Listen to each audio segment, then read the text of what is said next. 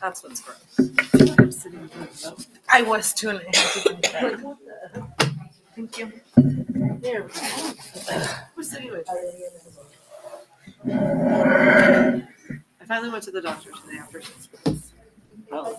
So they either think I have walking pneumonia oh, or valley fever. God, those are not I fun. had one test done and now I have to go get Actually, x-ray of my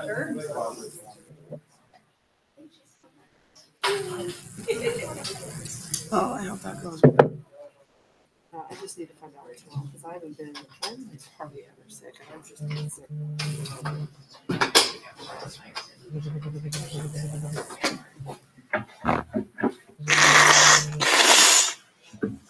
I am, just went to the ENT this afternoon. Jay, are you able to hear us okay? Yep, I can hear you loud and clear. I am not hearing you right now. I'm getting sick. An oral steroid and an antibiotic. and I am not Let muted. me try a couple things here on my end. It's great.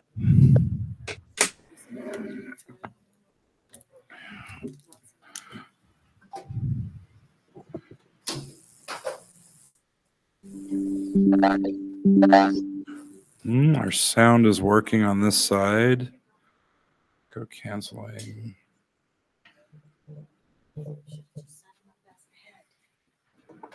On the, on the diet, that day has died. Obviously, we should have sent Jay. Can you try saying a few more things for us?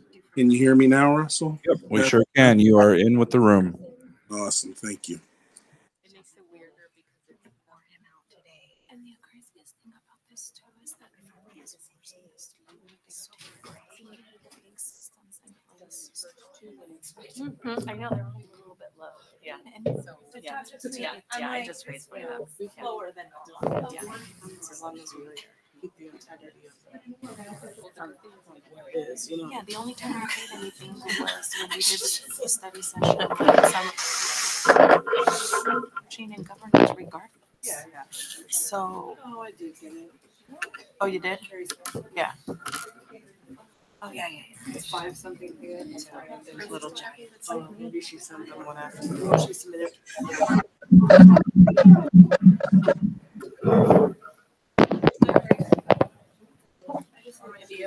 Oh, yeah, my daughter's supposed to tell me what day. Uh-huh. Great. We're gonna go to Little Giants, Little Giants. We have her there, and then she's a night. So they're gonna say, take this monster. I'm sure they have. I don't know. We'll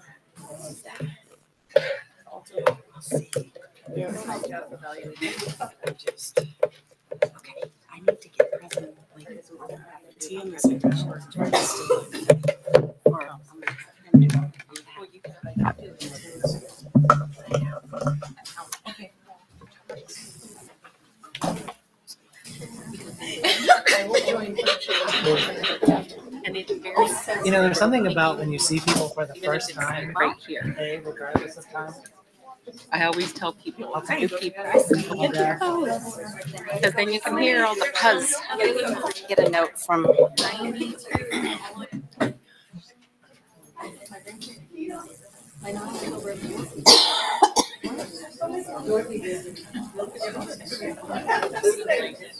It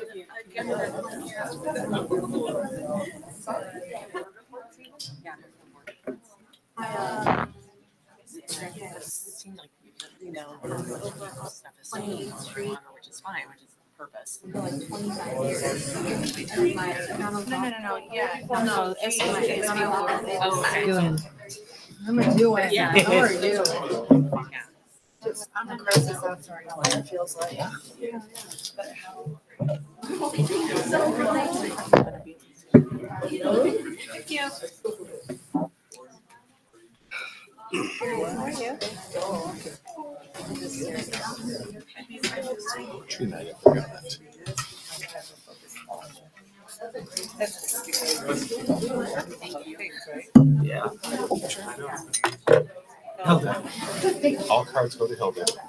um,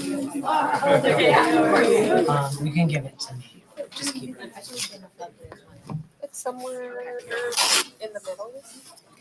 So kind of towards, a little bit before the middle. You're right, right. Good to see you. I know.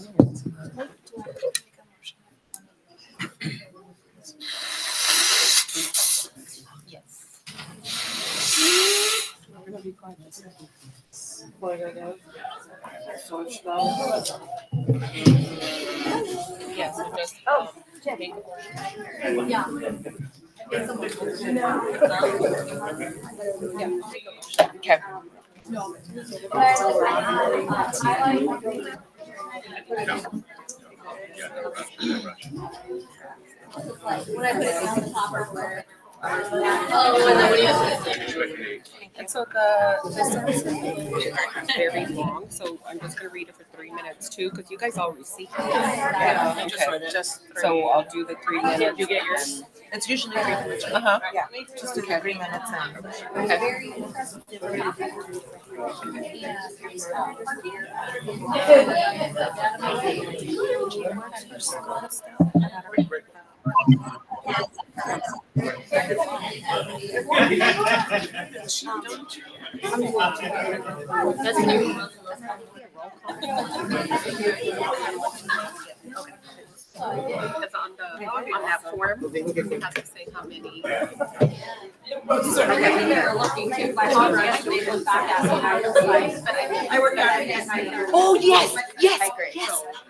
great. yes. Right? Oh, it's six o'clock.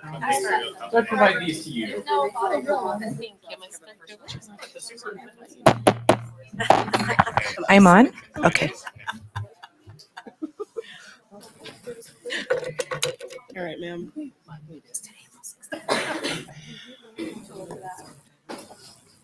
My No, but tablet's here's the- frozen. Today's ain't gonna accept.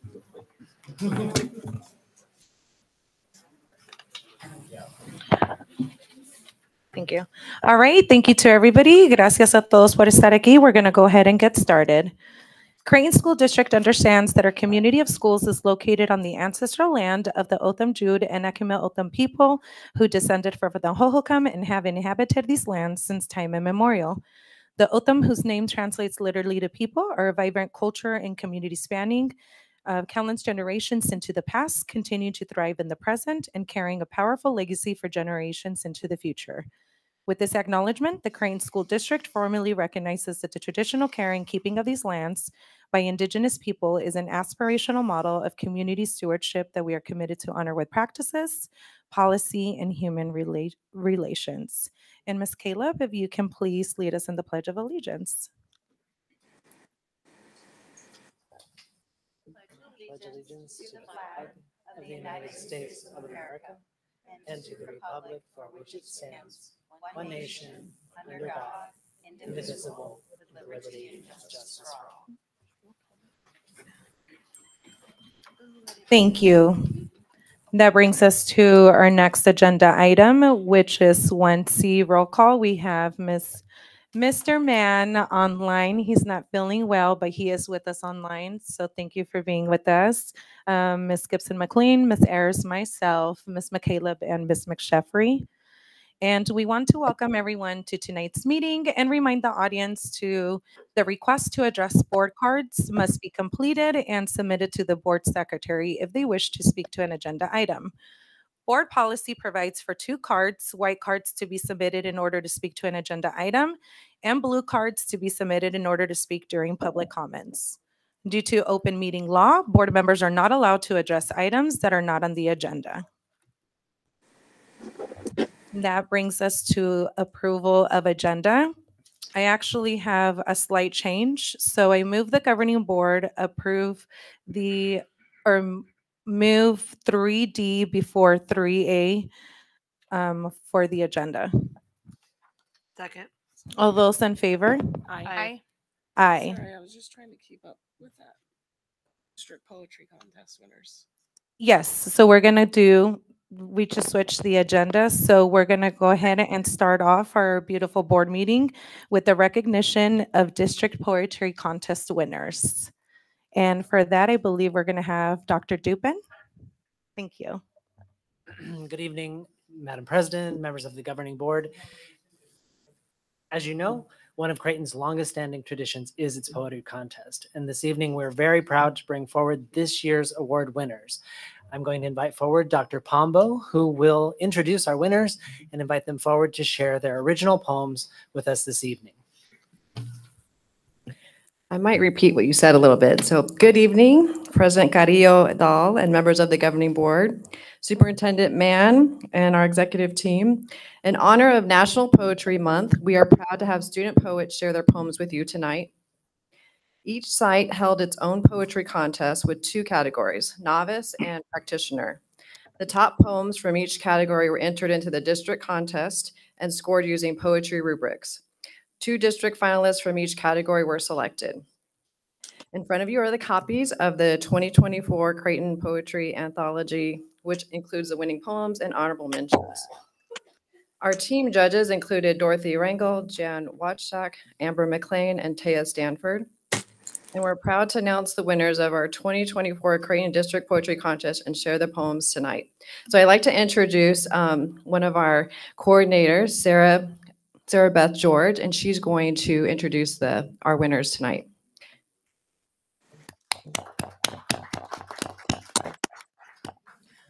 Good evening. So in the novice category, so we will have our novice category winners read first, and then our practitioner categories winners will read theirs. And I will read the poems for our students who are unable to attend tonight. So we will start with Yaretsi Diaz Damian from the Creighton Academy for her poem Summertime.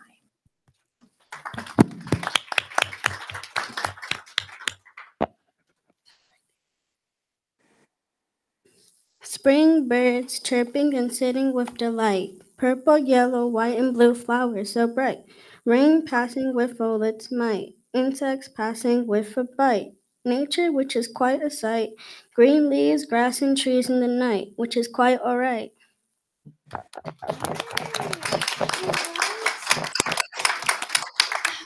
And Mr. Carvajal is going to read her poem in Spanish. And then you stand up. El poema es Hora de Verano por Yaretsi Díaz Damián de la Academia Creighton. Los pájaros primaverales cantan y se sientan con deleite. Flores moradas, amarillas, blancas y azules tan brillantes. La lluvia pasa con todas sus fuerzas. Insecto que pasa con una picadura. Naturaleza que es todo un espectáculo. Las hojas verdes, la hierba y los árboles en la noche están bastante bien.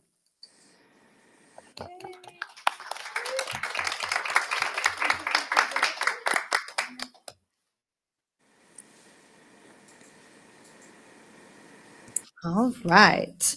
And our first place winner is Leah Mainwold from Biltmore Preparatory Academy. Is she, was she able to make it? Okay.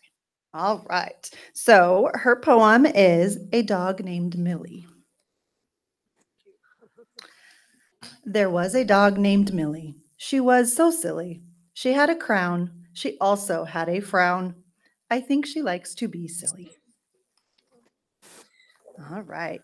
And in the practitioner category, second place is awarded to Valeria Benzor from Kennedy at Loma Linda for her poem Mi Madre Cuando Tenía Sueños.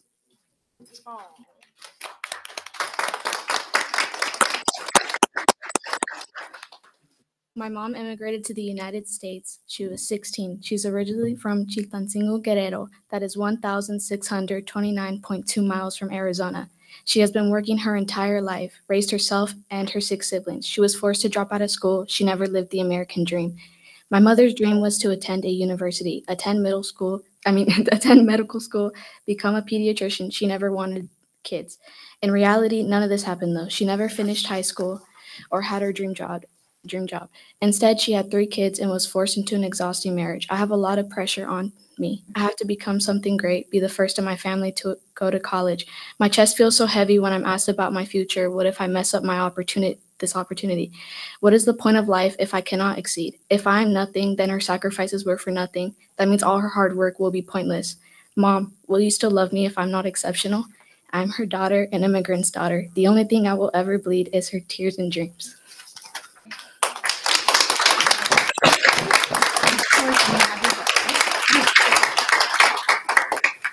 El poema es titulado Mi madre cuando tenía sueños, por Valeria Benzort, de la Escuela Kennedy a Loma Linda. Mi mamá emigró a los Estados Unidos. Ella tenía 16 años. Ella era originaria de Chilpancingo, Guerrero, es decir, 1629 millas en Arizona. Ella había estado trabajando toda su vida. Crió a ella y a sus seis hermanos. La obligaron a abandonar la escuela. Ella nunca vivió el sueño americano. El sueño de mi madre era ir a la universidad, asistir a la escuela de medicina, convirtiéndose en una pediatra. Ella nunca quiso tener hijos. En realidad, nada de esto le sucedió. Ella nunca terminó la escuela secundaria o, tenía el o tuvo el trabajo de sus sueños. En lugar de eso, tuvo tres hijos y se vio obligada a contraer un matrimonio agotador. Tengo mucha presión sobre mí porque tengo que convertirme en algo grande, ser el primero en esta familia en ir a la universidad. Mi pecho se siente tan pesado cuando me preguntan sobre mi futuro. ¿Qué pasa si nuestra oportunidad? ¿De qué sirve la vida si no puedo tener éxito? Si no soy nada, entonces sus sacrificios fueron en vano. Eso significa que todo su arduo trabajo será inútil. Mamá, ¿todavía me amarás si no soy excepcional? Yo soy su hija, la hija de un inmigrante. Lo único que pienso es que alguna vez sangraré su sueño y sus lágrimas.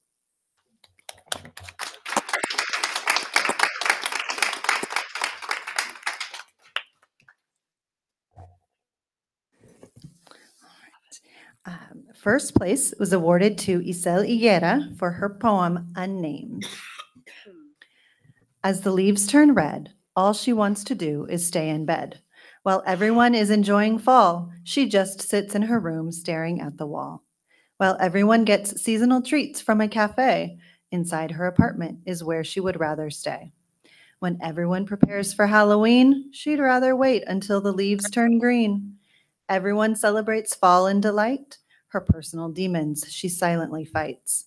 While everyone else's happiness outlasts, she patiently waits for the flower to bloom from the grass.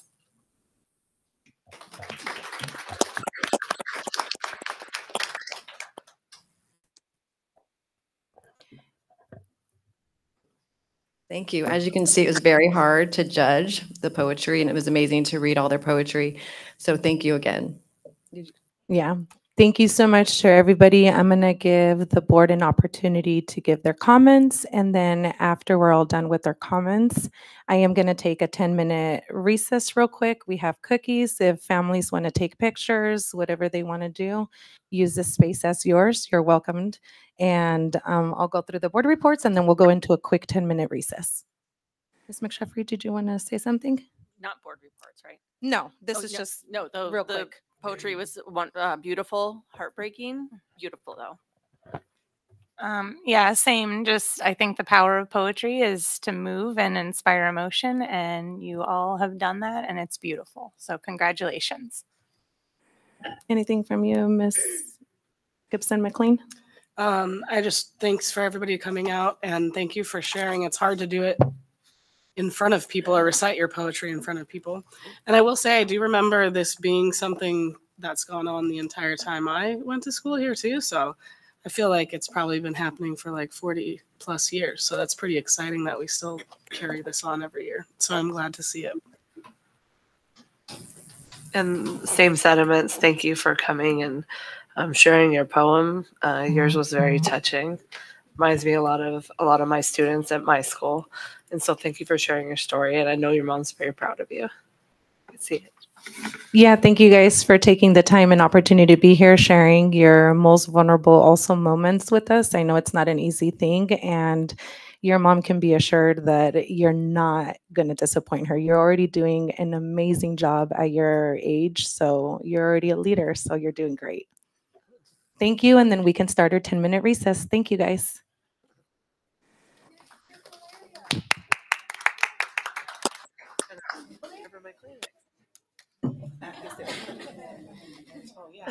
You're like, you said I'm gonna go cover my plans. I was like, I don't know if we have enough time. I don't think I have enough time I uh, was for like, that. I was like, wow.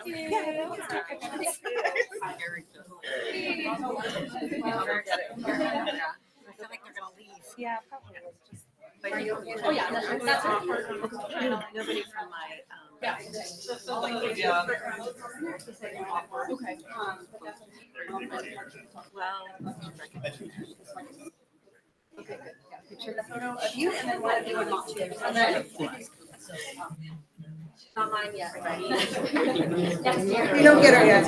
Okay. Put them all together. Yeah, can we? It's, oh, just. I need. Super quick. Have her back. She's not been showing up tomorrow.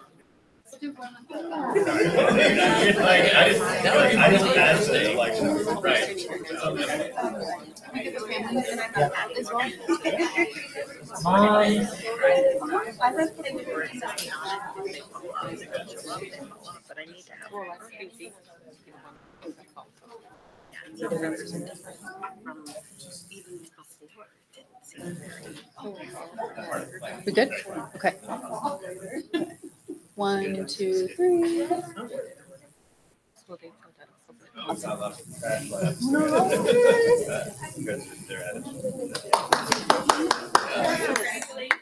love that dress. When I saw the top, I thought she was in that We're talking about your skirt. We like your skirt. Okay, you look super slim. If anybody can wear stripes, it's you.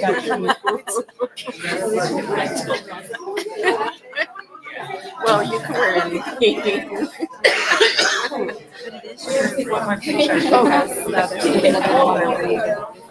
I have to gain twenty pounds. Like you could see the baby, the food. Sure. I don't need to be the newsletter though. No, I really, really don't. Very overweight, but I just don't want to. Beautiful. You get one of you and mom, okay?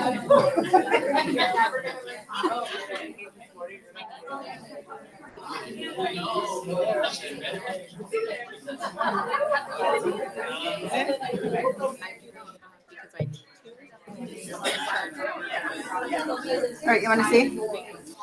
It's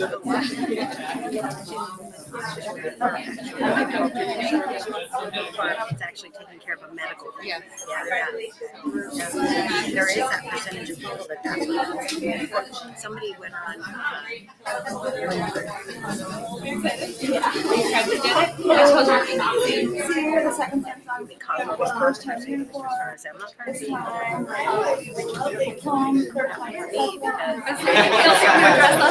I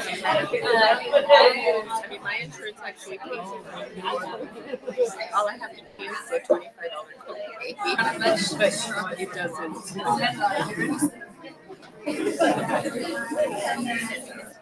It's not a side effect thing. Getting to a point though where I'm starting to consider things because I can't. Happen, no matter how hard. I.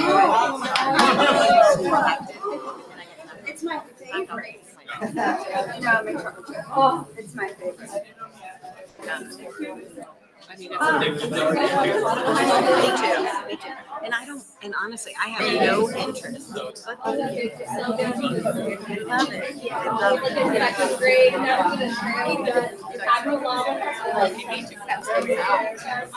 love it. Here's our sign for our search. Okay. Yeah, let's get a sign. Um,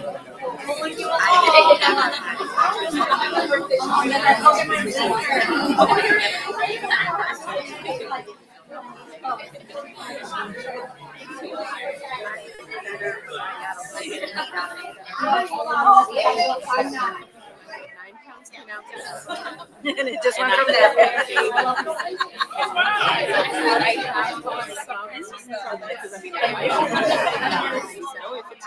Oh, yeah,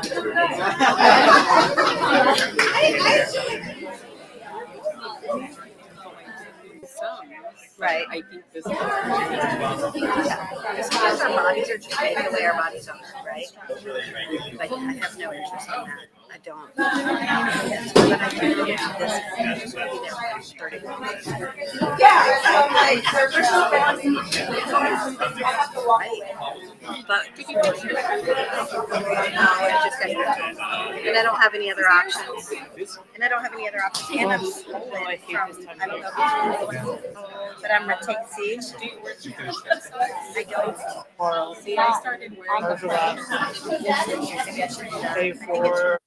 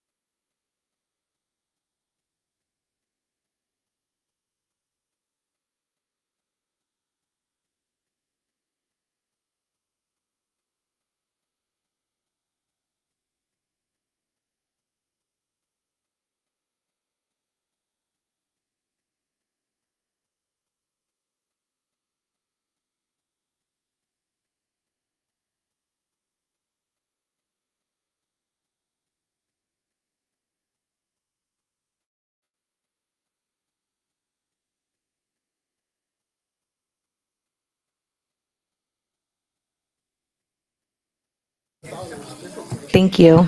All right, our 10-minute recess is up. We're going to go ahead and get started again. That left us off on 3A, which is governing board reports. And Ms. McSheffrey. Yeah, um, thank you. So I know we have some public comments coming this evening, and I just wanted to basically publicly apologize to this group of teachers that is here tonight and say thank you for coming tonight and for sharing a little bit about what you have been through with the hope that it doesn't happen again. I know that you have all been through a lot and you've documented it, you've followed policy, you've followed up and followed up all to what seems to no avail. And you have faced intimidation and retaliation, which is what I had hoped would not happen. Um, I'm disappointed and disgusted by what I've learned. Um, and we wonder why we have a teacher retention problem. Um, I want to be really clear that I believe this is the legacy that is left by Donna Lewis. This is a new era. Um, I'm embarrassed to have my name associated with this toxic culture that I've learned about of intimidation and fear that exists on some of our campuses. And the idea that some administrators will protect other administrators while leaving teachers and support staff out to dry is completely unacceptable. Last year, we lost a large group of school psychologists and other staff in special ed who had similar complaints about intimidation, retaliation, and favoritism. Also, uses of the R word, the N word, used towards and around our kids, homophobic slurs and bullying towards colleagues is completely unacceptable. That is not who we are. Um, it is disgusting and embarrassing to learn about. And again, I'm ashamed to have my name associated with instances like this that are going on. I will say I had a difficult but very good conversation with Mr. Mann about this. And I believe as we move forward, we are on the same page and, and believe that these things are unacceptable. And I believe there's things coming into place that should help change this culture and lack of accountability. Um, I think there's some misalignment with some of the professionals who we get advice from. Um, and so I think some of these things are about to change. But I just wanted to make an awareness that um, there's there's stuff. It, it- it's just unbelievable that um, people have had to work in these environments. Thank you, Ms. McSheffrey. Ms. McCaleb? Um, good evening. Um, I know we're all in state testing season and hopefully here into makeups. Um, I want to give a big appreciation to all of the staff who help make testing go smoothly and all of the teachers who have to stand and walk around and proctor all day when I know that you'd rather be continuing working with your students. So um, I know it's a tough time to get through, but I appreciate everybody's dedication to making sure that our kids have environments that will make them successful. And I know you've all been working so hard with them all year um, to get to this point, And that's about all I have for tonight. Thank you. Ms. Ayers? Sorry, I'm still fighting this sickness, but I finally went to the doctor today, so hopefully we got it cleared up. Um, I look forward to hearing about this problem that Miss McSheffrey is talking about. I have no clue what is going on with that right now, so that'll be interesting. Um, and I know it's testing season. Hopefully, you guys are almost done. And I'm sure those of you that had to test today were really stressed out with um, the internet being out because, like, that's just one thing that sets us off when we're teaching. Like, when the internet's out, uh, it stresses us out even when we're not teaching because we rely so heavily on um, our technology. Um, so I'm sure you guys had a, a difficult uh, day today uh, maneuvering around that. Um, and thank you, Jay, for keeping us updated on that. I appreciated that. So I hope that we're you're wrapping that up and uh, getting that out of the way. Thank you. Ms. Gibson McLean? um, just to talk about the student conduct committee. So um, we've been working, well, I'm not really doing a whole lot other than answering questions, but they've been working diligently, um, even at, adding extra meetings um, to try to meet our, our timeline. However, I'll just put that this out here to set the stage, hopefully, so that nobody's caught off guard. That it's it's looking like you know um, it's a big task, right? And so there might be a few policies that we don't get to, and we were trying to emphasize, or the committee's trying to emphasize quality over quantity. And so I just want everyone to be prepared that there's a possibility that one of the recommendations could be that this committee continues its work into the next school year, but there will be, I think, quite a few recommendations that will be made to the board. And so over the next week or two, we're going to be working on um, the presentation to the community council and then also the presentation to the board. And so I'm excited for everybody to see what we've been working on. And we have a meeting next Tuesday. We're always here. If we're not at the board meeting, we're here. So come see us. You can hang out next Tuesday. Thank you. I'm gonna hold my board report until we go into our NSBA conversation and our student outcomes focused governance framework conversation. Um, that's gonna bring us our to next agenda item, which is three B, which is the superintendent report. Thank you, Madam President, members of the board. Uh, I'm not going to say a lot because I'm going to try to preserve voice, but um, I just wanted to give um, the the internet issues came up, and I just wanted to give a, a shout out to everyone um, in the organization who who worked so quickly to try to find workarounds and solutions and keep- us moving forward today. But I especially wanted to give a shout to Ms. Shapiro, uh, Mr. Denault, and his team, and the uh, Herculean efforts that they went to to try to, you know, soften the blow as much as they could and get the solutions in place as quickly as they could. You know, this was not something we could have foreseen. It was it was due to an accident um, on the street.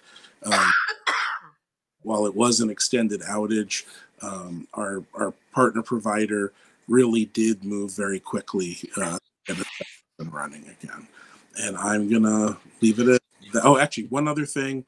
I just wanted to say thank you again to those poetry uh, contestants. Amazing poetry.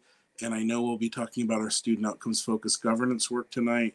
And I just felt it was important to say that while we are focused on those um, SMART goal measurable outcomes, because that's the format of the governance work, um, I do believe that things like our poetry contest winners, uh, the output for our, annual art show, um, our our band and choir festivals, um, all of those things are outputs. It's more than just what we consider the reading, writing, and arithmetic. It's also um, these these excellent examples of quality in the arts that are uh, outcomes that our students demonstrate. So, and with that, I will uh, wrap up my my report. Thank you. Thank you. That brings us to our next agenda item, which is 3C, the NSBA Annual Conference Report. Myself, Miss Aaron, and Mr. Mann were there. Um, Ms. Ayers, if you want to go ahead and share your experience there, then I can share mine, and then whatever finishing touches Superintendent Mann wants to do, then he can do so. All right. Sorry. So uh, the first thing I want to talk about is our main keynote speakers that we got um, the privilege of hearing. Um, Ruby Bridges was there the first day to talk to us, and like it was amazing. I I was like so excited, um, and it was really weird because when she first came out, I was like, wow, she's not really that old. And then she said, "Oh, I was born in 1954, which literally is 69 because that would be the parent my parents' age. My parents were both born in 54, so um, it kind of blew my mind that she was like still so young, and this hasn't been like super long ago. Um, but it was such a privilege to like be able to like listen to her. And then Jay and I later like met some other people. Uh, later we were talking to him, and like this this lady didn't even literally know who Ruby Bridges was, and I was like astounded. Um, and so I, I don't know, just history. Um, but I want to talk about the key points that she made, and one one key point that really resonated with me, um, because of course we talked about inequalities in education, um, especially with um, children of color. But at the end, she said it doesn't matter what color we are, because being a mean person comes from every race.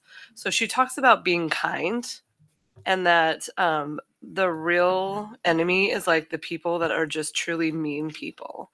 Um, and so I just really connected um, with that. Um, and then the second keynote, um, he talked a lot about dignity. Uh, so it kind of went in the same same place. And then um, we got to the dignity index that uh, Ms. McSheffrey and Mr. Mann had brought to um, the board from your other conference. Um, and I picked up a ton of those because I was like, hey, there, there's a bunch on the seat. So I'll bring those for people that that don't have them because I thought it would just be nice to have them because I think they're quite lovely. Um, so the keynotes were keynotes were really great. Um, a couple of the the workshops that I went to um, that I really liked was the first one was engaging families through advocacy. Um, so it focused on building partnerships with families through um, relationships and trust um, from uh, from the board, and then of course advocating um, for our constituents, especially our families on all levels. Um, state and local levels. So, just talking about how we can get families involved um, on a state and local level. Um, and the other interesting one that I really liked was the education um, with AI. Um, it was actually done by the National Education Association, a person from there. And um, it was fun because he talked about a lot about what AI is and what AI isn't. So, like, AI isn't like people, because we're like always scared that they're gonna like take over our jobs someday like if we're teaching right and so they're like not like to replace people but they are great tools. For example they personalize our students learning um, they offer ways to differentiate for our students um, and they build they can build language um, with our students.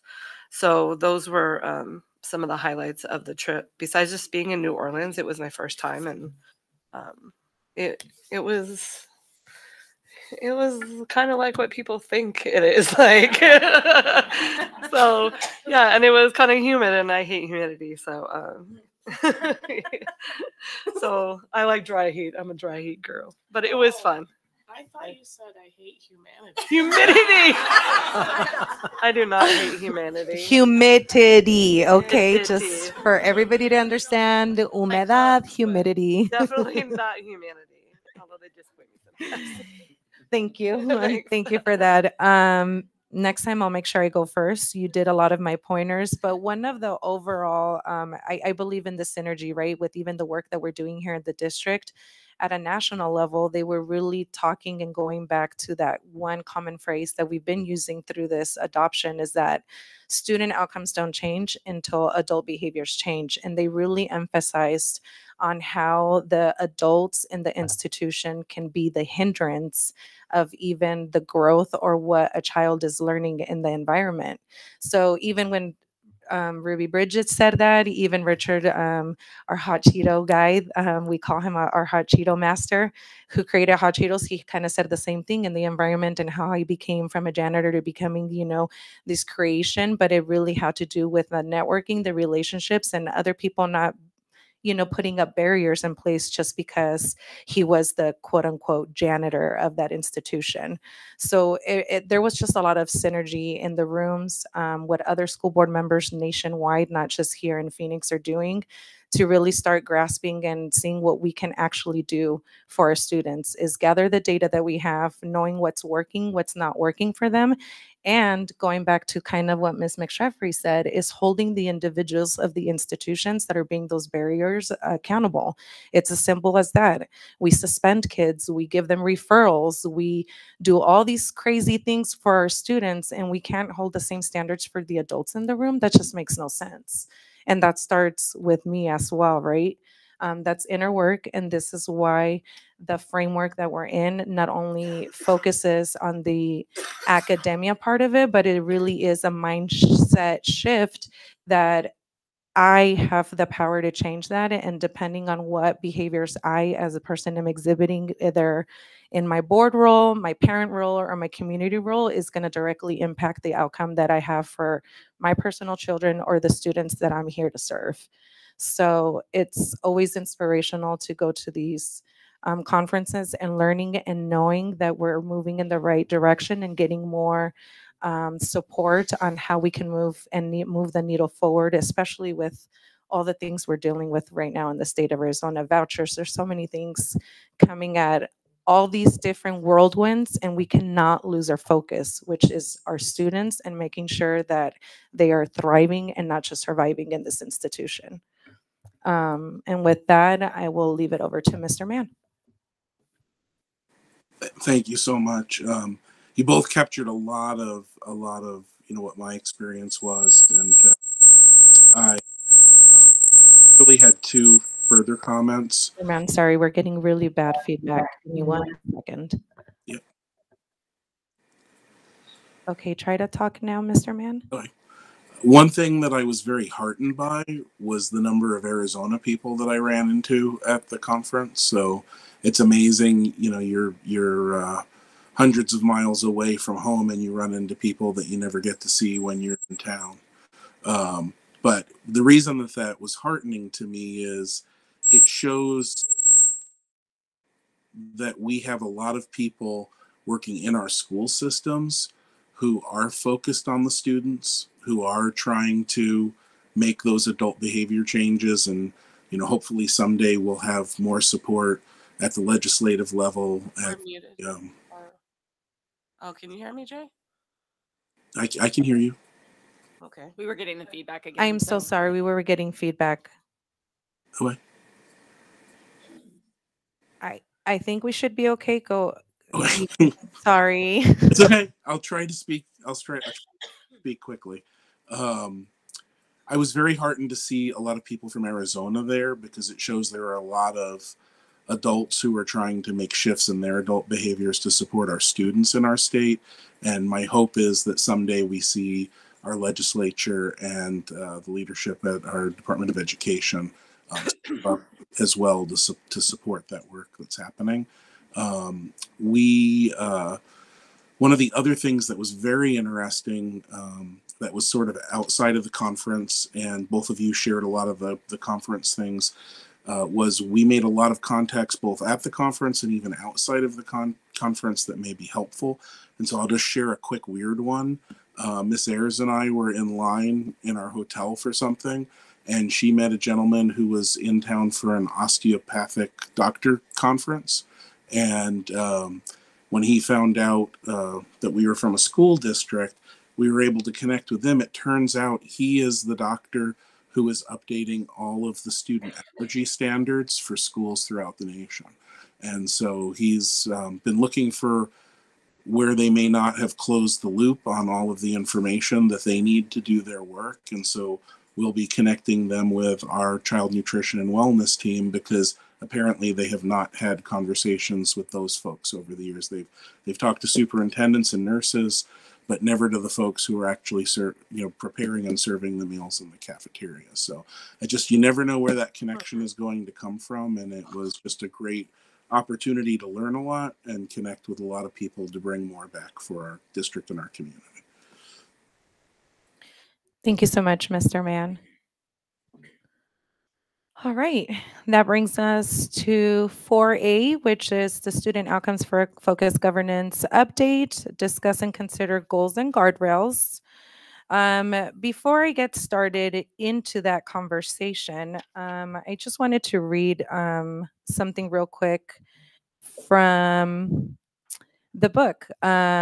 Given the closure of our site councils, our cafecitos, and getting the feedback from the community, there's one very um, popular um, opinion or I would say um, concern about the framework, and it's that we're focusing a lot of our energy on testing and numbers, right? And they, a lot of the parents in the community, I've heard several from different locations talk about how we should be focusing more on the experiences that our children are having, whether they're happy with the material or they're not happy with it, right?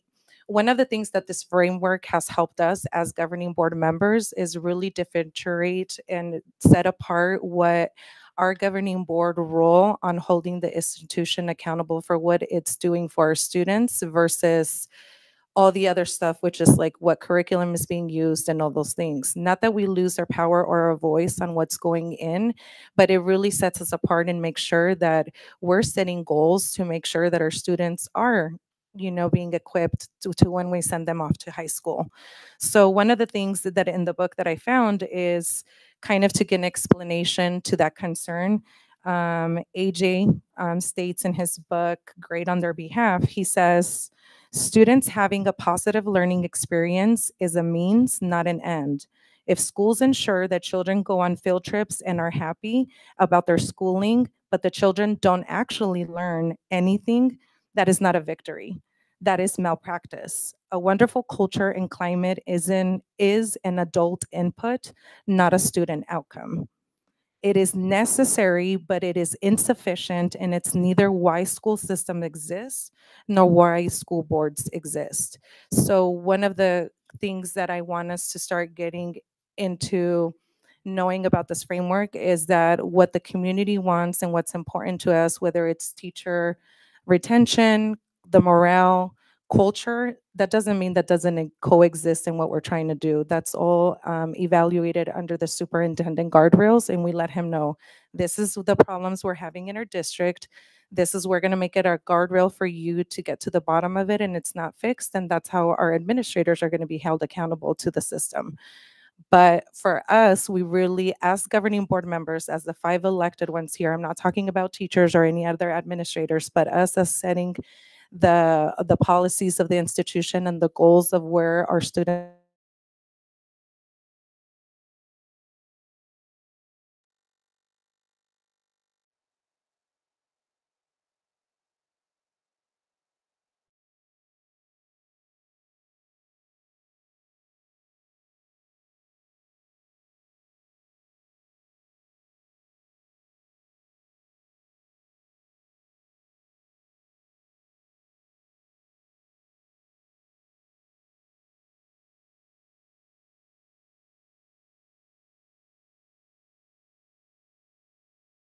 accountable. So instead of focusing us as five board members on the whirlwinds that occur, um, when it comes to the goals, not the guardrails, we're two separate things, then that's where we really feel that we can start moving the needle forward for our students, that our data has shown that we have not been meeting the needs of our kids. It's out there, we've discussed it, and it's not acceptable. So that was just one of the things that I wanted to bring up and hopefully has a little bit more clarification because this is on you. I'm also learning. I'm in a nine month um, cohort learning along with my board members. So it's it's a lot of work on us. We're we're learning, we're reading, we're we're doing, and and this is why we're going to be going out to the community every quarter and updating. And if something needs to change with the teachers' um, help, with their staff help, and the communities and parents, we'll make those changes. But it's all for the students. It's not for for me to be comfortable. It's not for administrators to be comfortable. It's time for us to get uncomfortable for the betterment of these students.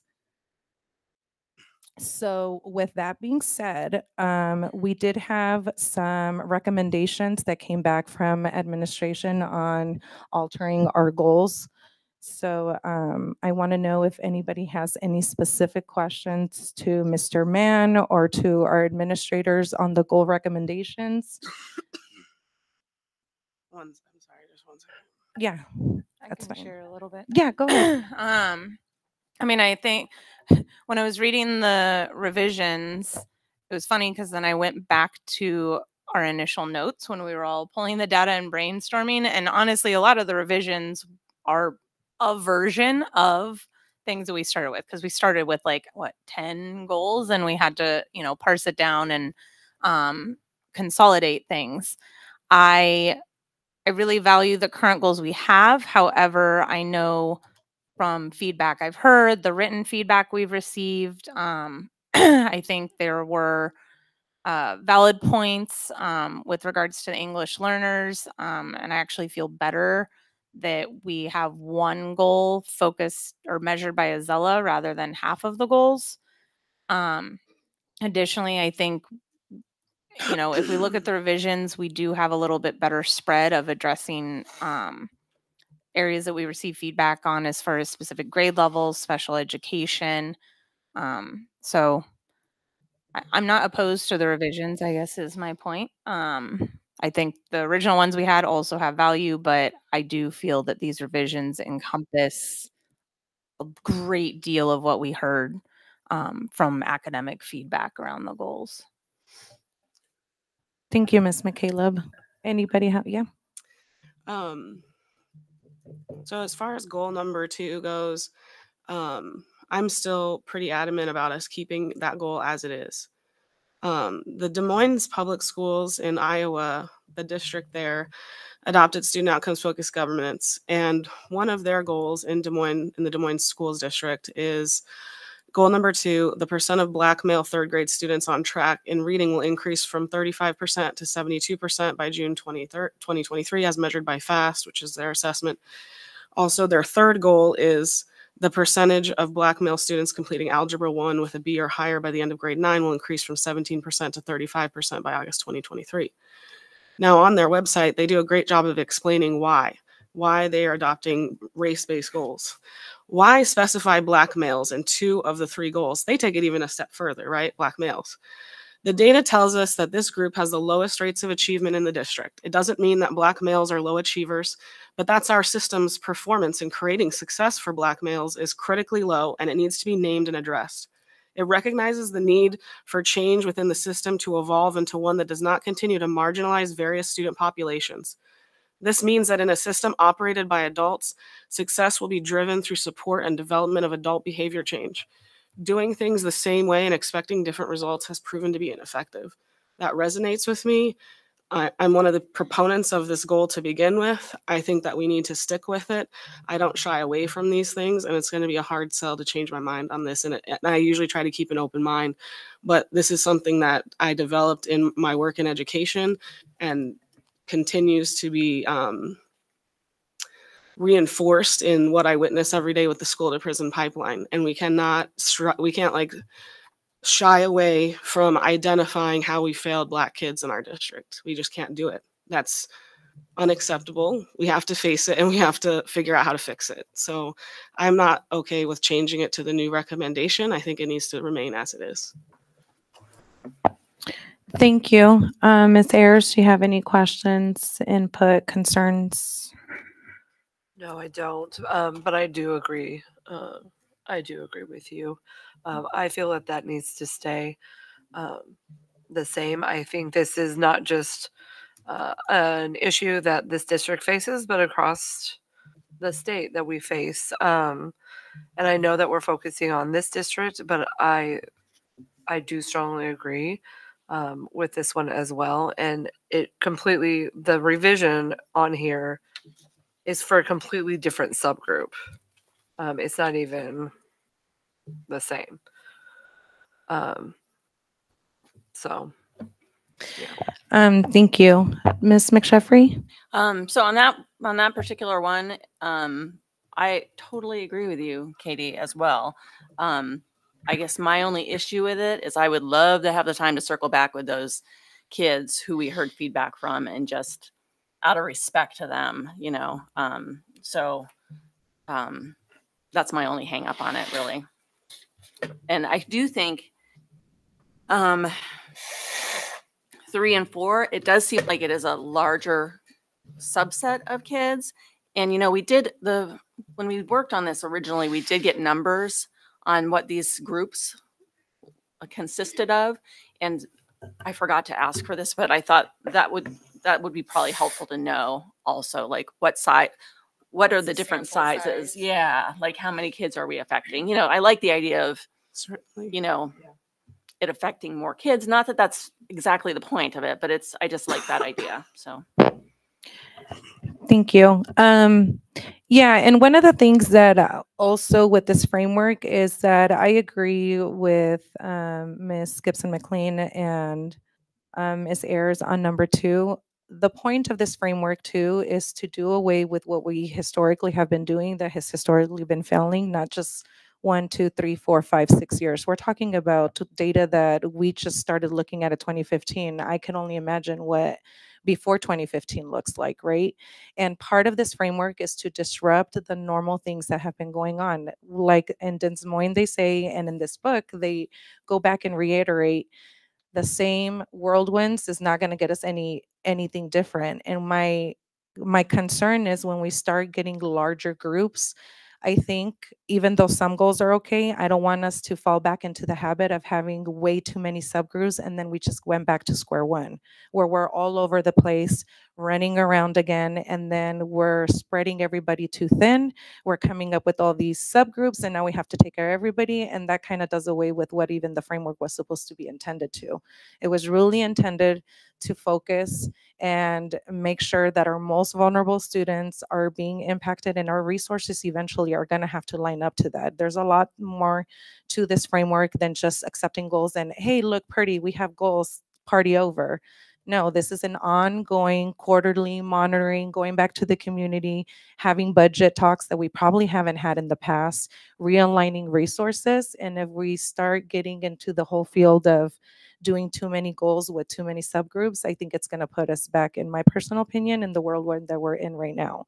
I say the world whirlwind because that's what the book likes to call us, that we get stuck with all these little things, you know, like the test and the curriculum and the vouchers and all these different things. And then it puts us as governing board members in this whirlwind where we're trying to accommodate um, everybody and everything, and our students are not learning. And our students are the ones that are failing due to those whirlwinds. So um, I personally would like to keep, you know, one and two as they are. I don't know. Um, I don't know how I feel about three and four, just because it's putting us in that huge subgroup again. So maybe um, I need a second just to process, and maybe I can ask a question on how, because I understand how interim goals work, and eventually we're going to have subgroups within these goals, but I don't want us to be spread too thin either.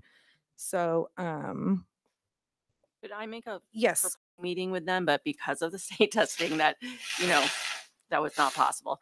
Um, is it possible to maybe just let us marinate on this a little bit longer? Um, so that we can just check in with them and then also maybe we can find out what the actual, get the numbers on to compare three and four, the um, current goal, how many students that is, and then how many students it is for the revision. Like, I'd be curious just to know that. With that request being made of Ms. McSheffrey, I would like to first, how much time would it take from staff to actually come up? I think those numbers will be easy to Okay. obtain within a couple of days at most. Okay.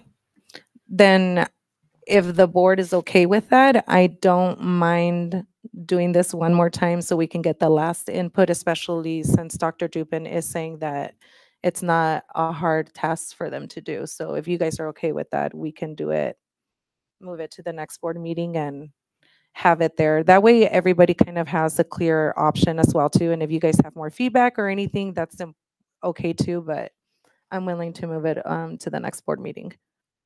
Well, and I was on on the AZELLA one. So on the original number three, one of the things that was brought up um, by multiple people I talked to, which is a good point, is if we're just looking at our eighth grade EL students, it is a very small sample size, and often there's a lot of other factors going on, not just language immersion or um, language acquisition. Um, and so you, when you're looking at eighth grade ELs, sometimes it's kids that are just stuck in this system because the AZELLA test, quite frankly, is often more difficult than even our state ELA tests. Um, or there's undiagnosed or you know undetermined special education needs, um, or we have often middle school refugee students who come in and it's unrealistic to expect them to immediately pass that test in a year. Um, so I I know the like all that being said, I just want to share some of the context of looking at altering the um, ELL goal. That being said, I think getting the numbers will help because I am a little wary about having half of the goals be such large groups. Um, so I don't know. I don't have the perfect answer. Maybe it's not all ELL students. Maybe it's a grade band. I don't know. And just um, A happy medium, you know. Right. And just some food for thought too with what you said is that part of this framework too is with the interim goals is that's going to be um, superintendent Mann's job to figure out, for example, if he finds out that there is an issue because we have you know, other students that don't speak the language, or there might be something with this test, that could be an interim goal of him focusing and saying, now I found what the actual problem is, and now we're gonna bring in resources to figure that out. So sometimes when w- with what you said yes i can see how that can be a concern because of all the added barriers but this is what this these goals are supposed to bring up is all those added on barriers so our administrators are bringing us options on like hey this is what the real issue is and now we're going to have to divert from what we've been doing to now this and i think that's what the cause of all these goals is is that we get really to the root issues versus keep on buying new curriculum curriculum and doing all these things and we're just adding adding adding and nothing is being done does that make sense Yeah, no, it, do- it definitely does. I just think like initially we had an eighth grade EL and a third grade EL. Right. I think there's been a lot of feedback on keeping the like we want to address EL. We also there was a lot of feedback about addressing third grade language arts. So I'm just trying to think. I I don't know that I would out of any of these four be like feel really good about picking two as they are. I think getting some more numbers and getting some more feedback from the students because I feel like there's an in between area here that we're not finding, if that makes sense. yeah President Cuddy, you may I make a comment real quick? Absolutely. I want to point out a key difference with within goal three. The original goal was about proficiency, which is the end target. The revision addresses movement by one or two grade levels, or not grade levels, I'm sorry, proficiency levels. So the way AZELLA works is it has four, maybe five, I forget, proficiency bands. So there's pre-emergent, emergent, basic, and then proficient. So the focus here was to move kids up levels.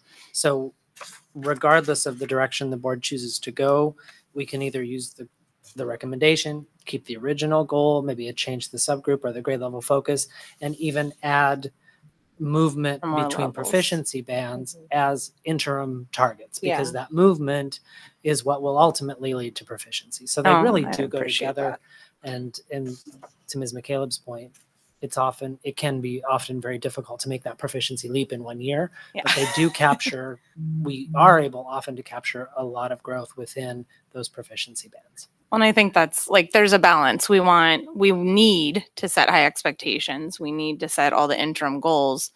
Um, so I just want to be clear that I absolutely don't want to like fluff the goals. Um, I just also want to be realistic because we not just Creighton, every district has a tendency to put these, as you were mentioning, these huge groups and these huge lofty goals, you know, and we're never getting there. And so there's, you know, it's finding the line there. What what is realistic? And we talked a lot about that when we were looking at the initial data and saying, you know, looking at the percentage jumps. But I think when you're looking at AZELLA specifically, it's not realistic for a pre-emergent student to become proficient in a year. That's not the way the, the entire um, test is designed. So I I do really appreciate that language, regardless of what subgroup we pick. I think addressing the increasing on one or more levels on AZELLA makes way more sense than just the proficient. I have a question about this one. Um, the twenty-five percent, is that like grades K through eight? Are you talking about goal three? Yeah, the third one. So we're still on the third one. Um, Yes, that is So correct. increase- Looking at the aggregate grades uh-huh. three through eight. So right now we're saying that only twenty-five percent go up one or more levels That's in K eight.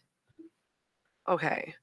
Um, I might make just a suggestion, um, and something to think about is maybe we take like a grade level band and like continue to follow those students throughout um the years a a cohort instead of just saying because what happens is then you're comparing apples to oranges because the group of kids we want to see if these kids are improving as a group as they're moving or are they staying the same instead of keeping testing this different kids every time so just something to think about um, And with that. actually, I believe Phoenix Elementary has one of their goals in a band like that. I believe because I've heard them. So I'll make sure I go back and watch their meetings, but it might be helpful for our administrators to touch base over there too, because I think they have something like that going on where it's on a band. So that's that's actually pretty nifty thinking. I like that.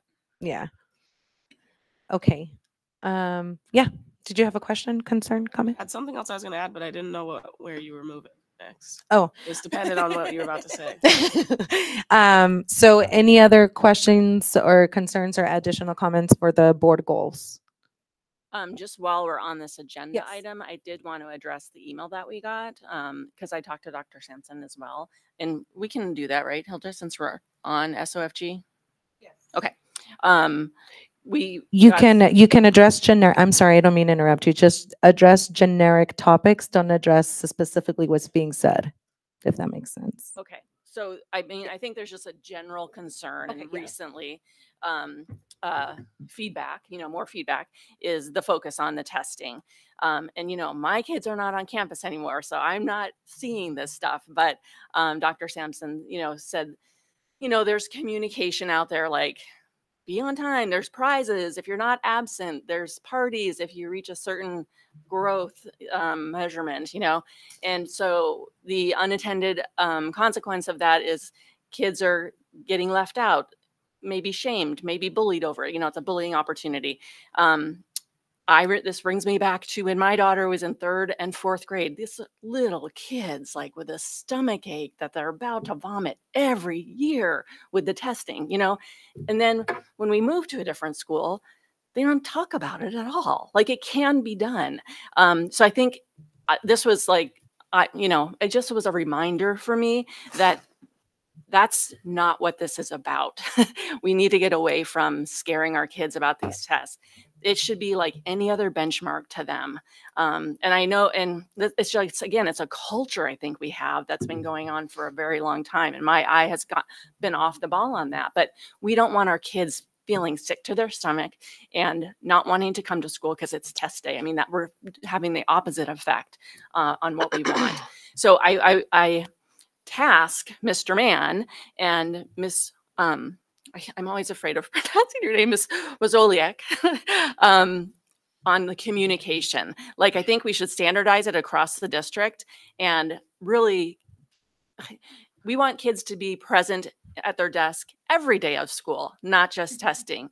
We want parents ha- to have supports at home to help them with math and reading every day, not just testing week. Not until we're not waiting until April to do that. We need it done all year long. So if we can just kind of reinvent this communication strategy around the testing, um, that's mandatory, or we are going to be focusing too much on the test. It's already happening. So I think that's, I I appreciate Dr. Sampson bringing us that feedback because that wasn't really something I was aware of or even concerned about. But it's, it will definitely cause us problems um, if we don't, you know, pay attention to that. Um, that's what I was gonna comment on. So, um, as a student in this district, thirty plus years ago, I was faced with the same kind of pressure for Stanford Nines. In Phoenix Union, I was given incentive on incentive to come to the AIMS and take it every year. It was ridiculous. Um, and so I would hate to see that happen again. And so when we started adopting these things, I'm a skeptical person. I don't buy into things. I ask a lot of questions if people haven't noticed. Um, and I was like, what is all this? Who's this dude? What are, are we paying for this? What is going on here? Why are we focused on testing? Blah, blah, blah. And then I, we, you know, you got us this book, and I was like, all right, I'll finally read this book. so on, uh, I did appreciate when we got to chat, and for people who haven't read the book yet, admin, please do. Chapter 10, Understanding Assessments. I'll also add, if you don't know this about me, I have my bachelor's in education. I worked in education for five years before I became a lawyer. But um, inappropriate use of standardized assessments. An assessment of what our students know and are able to do is a valuable tool, but tools that are not used as intended can do more harm than good. And so it moves on to talk about how standardized assessments can never tell you a child's worth, about how if students are assessed in what they do, but nothing is done with that data, that's an inappropriate use of standardized tests. And even more so, it goes into the myth perpetuated by testing companies, he calls out, that you need to teach to the test. And so I don't have to tell teachers that. That's a myth um, because that's preaching to the choir. I don't want them to feel like they're being pressured by the board or administration and thinking that that's what needs to be done in order to achieve these goals because I know it's not. And so we need to be creative. We need to think outside of the box. Yes, these are the data points for measuring because this is the data that we have. Okay, this is all we can measure. How do we get there? By doing things differently. And so I don't I really am concerned if I'm hearing anything about incentives, about pressuring students, about kids stressed out, parents. None of that should be happening. And this, this one thing stuck with me. What improves performance on standardized assessments? When students are taught the assessed material to a depth of knowledge that allows them to use the material in new ways. There's no shortcuts. And we already know what proficiency is. We already know how to engage our kids in material. We already know what that looks like when they are proficient in things. Um, we just can't do it by teaching to the test because it's going to create all of these issues that we've already discussed.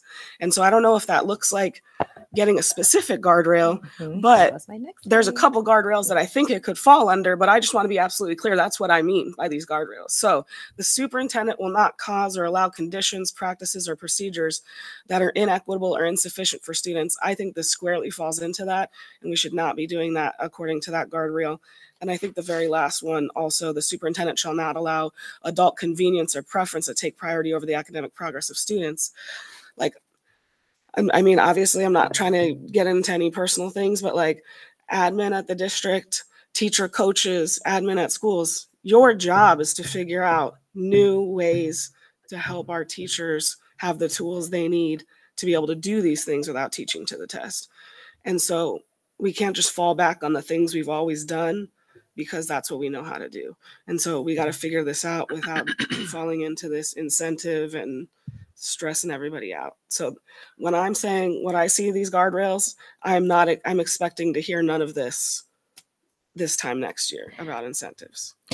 And to come to that point, right? This is why the super, I mean, the guardrail conversation is so important. And maybe lack of my leadership that I haven't really been on the guardrail. We've been so focused on the goals and making sure that we're listening to everybody. But within the guardrail, that's how we're going to hold this institution and our superintendent or administrators. If our community, which it's loud and clear, our community does not want us incentivizing, doesn't want us to bring this anxiety, then we put that in the guardrail. It might have to do culture changes where nobody's promoting an incentive for testing. And if that's what our community wants, this framework says we're going to speak to and create guardrails and goals to the community and the vision of our, to whatever the vision eh, and the community needs. And throughout everything, I'm hearing not necessarily that they're against us doing this, but they really want to make sure that what's going in side the everyday of the kids that it's not being emphasized and that's going to be something that we're going to have to hold um, Mr. Mr. Mann accountable to once we get into these guardrails and the interim is like what other things are you doing and come and prove to us that you're incentivizing with not in, not even incentivizing that you're doing different things and our kids are still empowering there you go different ways not show up and you get an ice cream on test day like yeah i can see how that is wrong, but that takes away also that's Mr. Mann's job to be like, hey, this is not what we want. We heard from the community. Now you go and figure it out within your people and tell us how you're not going to do this.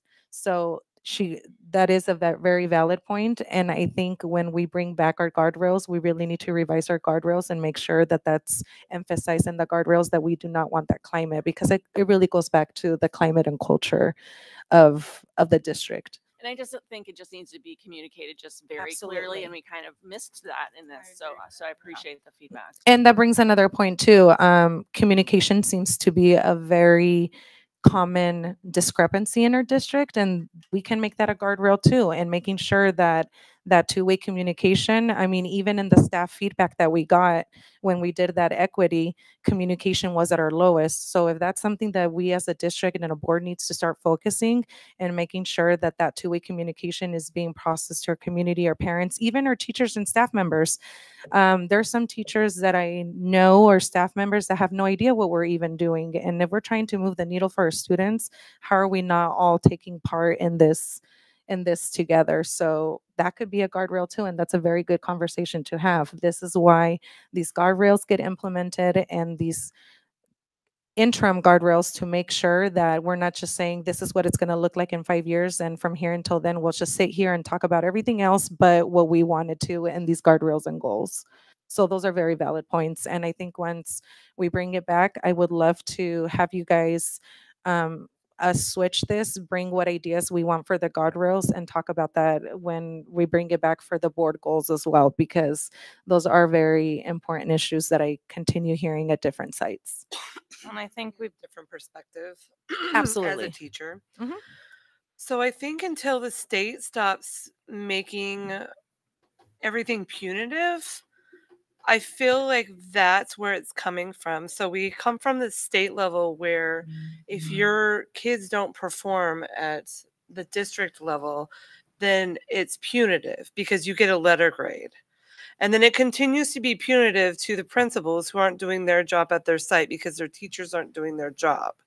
And then the teachers aren't doing their job because they're in direct contact with their students and it's punitive. So it continues to remain this punitive um, system. And until we change it at the state level, that's where the stress and the the this is coming from.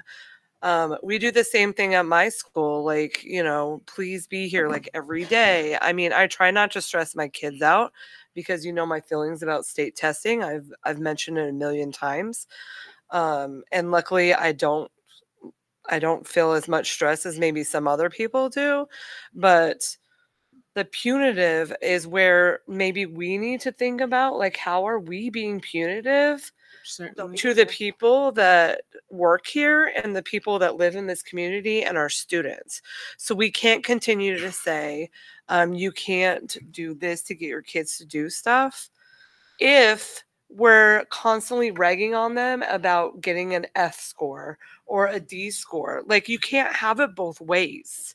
It just doesn't work that way. So we either need to be supportive of what our sites are doing and what grade they get, or we need to be punitive and demand more from them. It just doesn't work both ways. And so I I once again feel like I I don't rag on people for their scores um, and what's going on. But then also looking at this, now we're talking about okay, so these eighth grade students are going to score minimally proficient on AASA. Well, we got to get into the school. Like we're focusing once again on test scores. And I think a lot of that email was about test scores.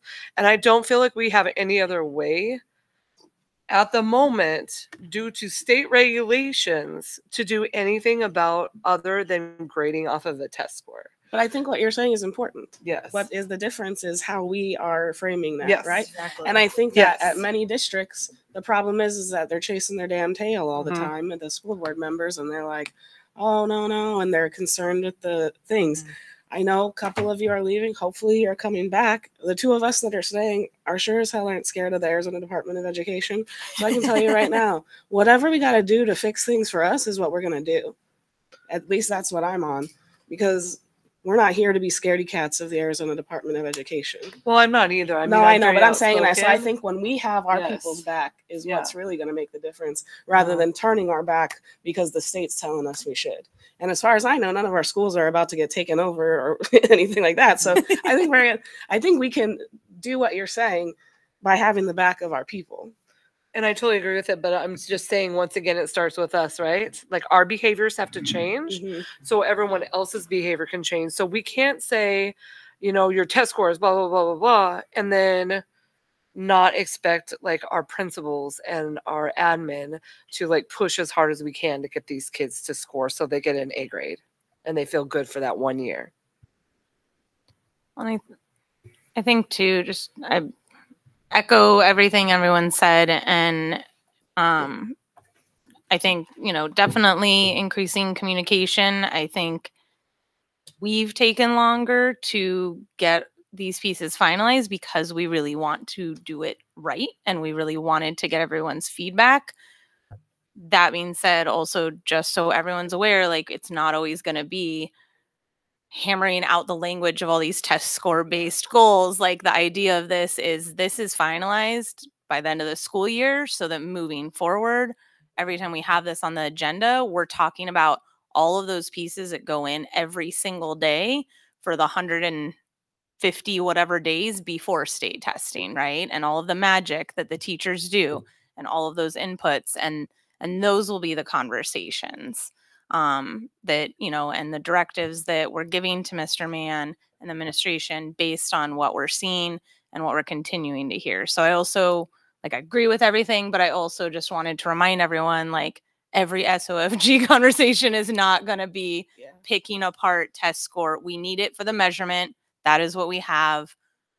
We know we need to move our kids and, and help them be successful and they leave our district. That and this is the measurement we have. That being said once we have these goals these guardrails finalized we start working on interim goals and we can have those really deep meaningful conversations about how do we best support the teachers to do what they know they need to do in the classroom every day starting on the first day of school Yeah, and one thing I want everybody to know, just to wrap it up, is that this is not about being right, getting it right, or being wrong. This isn't about it being good or you did a bad thing. This is really about getting to the bottom of what's working for our students, what's not, realigning our resources to the most vulnerable who are not learning. And our data again shows that we consistently in Creighton have failed our students to learn a lot of anything and sending them off to high school to basically not be successful.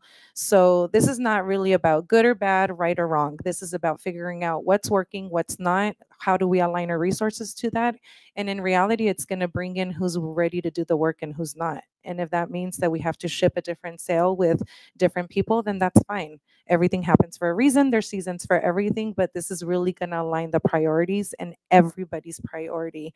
I don't care what title you have or what you do in the institution is for these students, whether you're gardening the grass or you're signing checks or I'm signing off on staff payroll, it doesn't matter. We're here for the students. If we have no students, I have no board presidency and nobody has a job.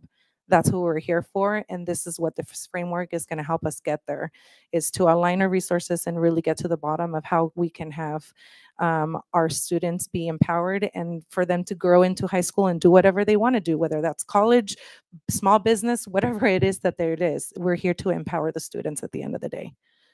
Um, so do we have any other comments? Mr. Mann, is there anything that you would like to add? I know you're feeling a little under the weather, but It's all good. Uh, wanted to add anything or close off with anything.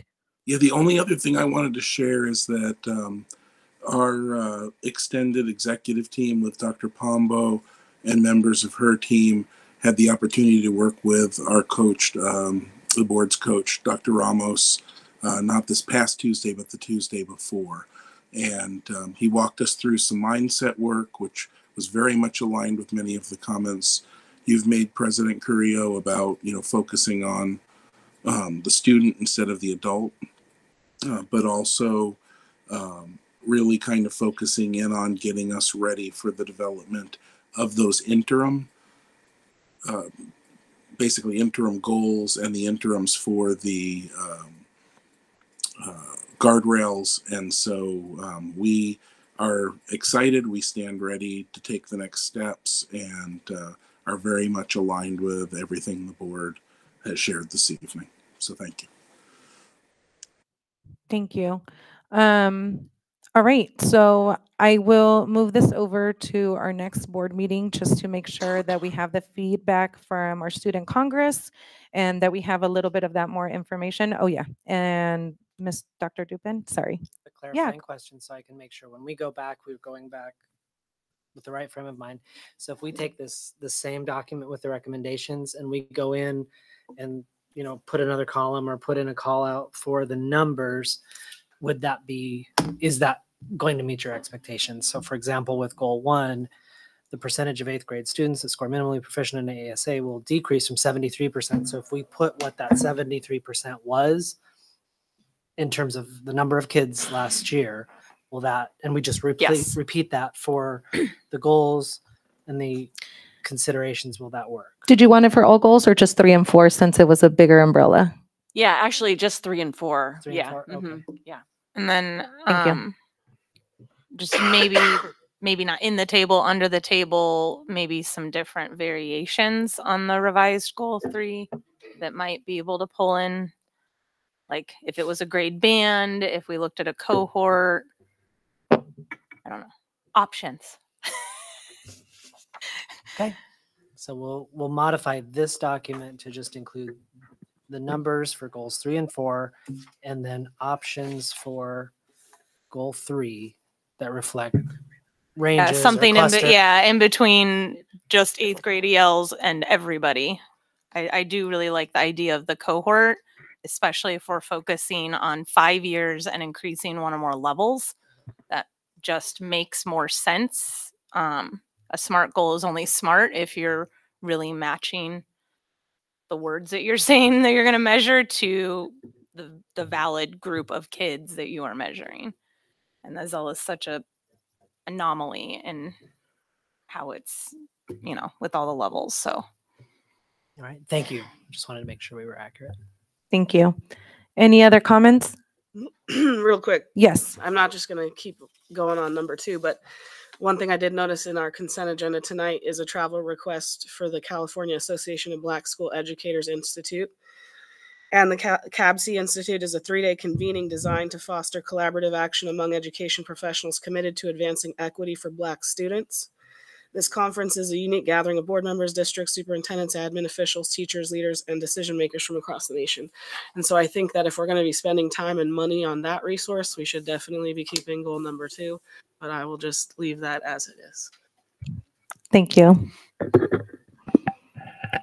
Okay. Hearing nothing further, that moves us to our next agenda item, which is public comments. And I'm going to go ahead and get started with Megan Rios. Yes, um, just as a quick, since I have a couple public comments, if you can just state your name and then each one of you will have three minutes. Go ahead. Thank you. Good evening, Madam President and governing board members. My name is Megan Rios, and I currently teach seventh grade ELA at Kennedy at Loma Linda. I've had the opportunity to work with an awesome group of students this year and have had the privilege of working for Dr. Burgess and Mr. Breezy. I am beyond grateful and truly appreciate their leadership skills. However, despite my positive experience this year, I will not be returning to the district next year. I chose not to return because of my negative experiences with the school district's systems and policies or lack thereof. Last year, I worked at a different campus in our district. April 2023, myself with Ms. Corneely, Mr. Grant, and Ms. Pierce filed a claim uh, with the district addressing concerns we had at a different campus, many of which negatively impacted students and staff. To this day, that claim is still open. We participated in a process with the HR department for five months. In September of 2023, we submitted our additional uh, resolutions after rejecting the findings from their investigation. We never received communication from the district stating that they read these resolutions, nor were we contacted to meet and discuss these resolutions.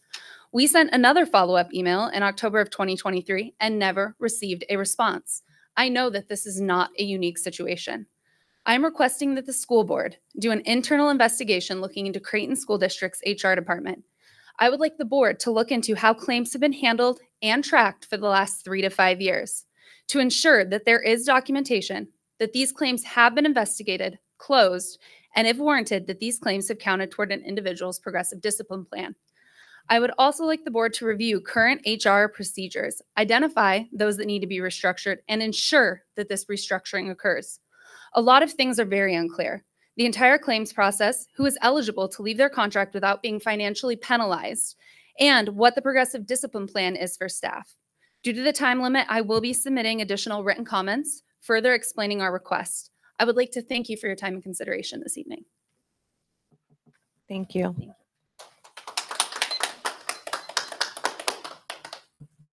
Next, we have Margaret Serna.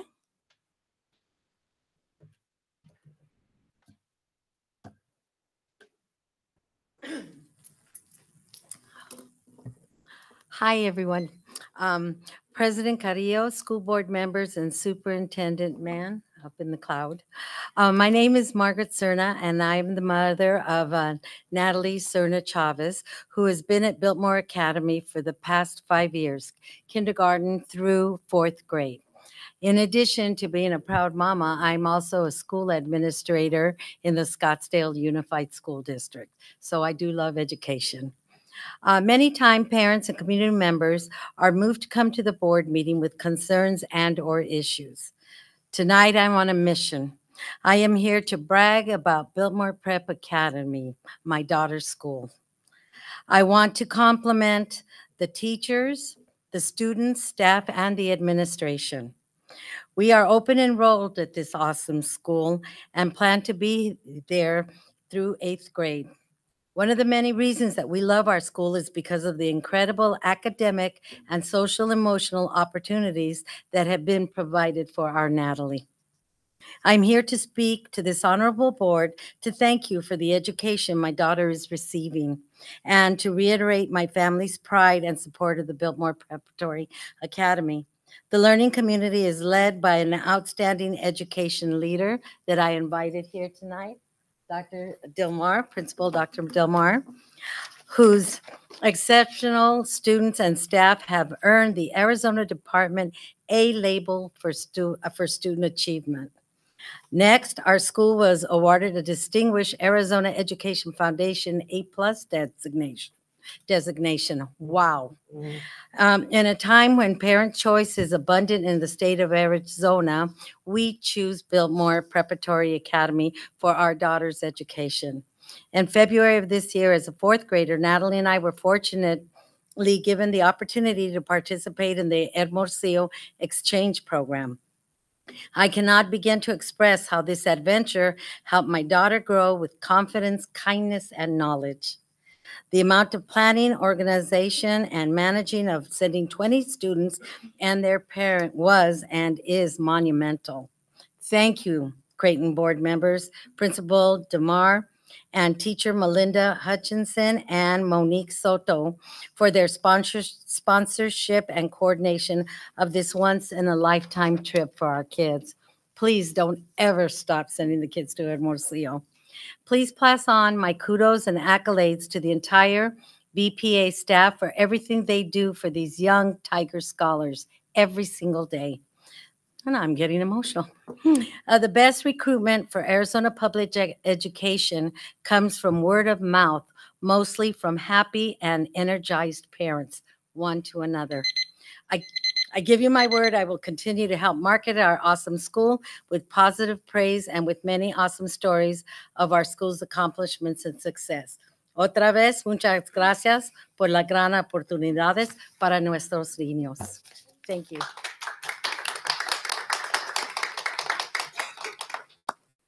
Thank you. Um, next, we have Ryan Kemet.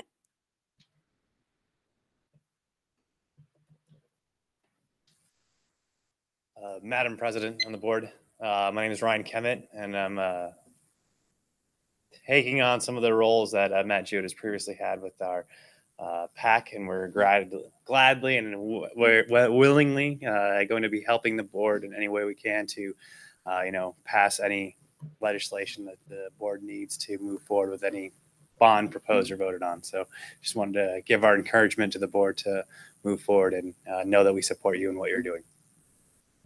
Thank you so much.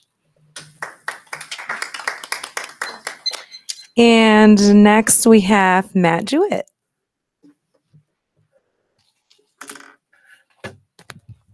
Thank you, President Carrillo, uh, members of the governing board, uh, Superintendent Mann, and members of the administration.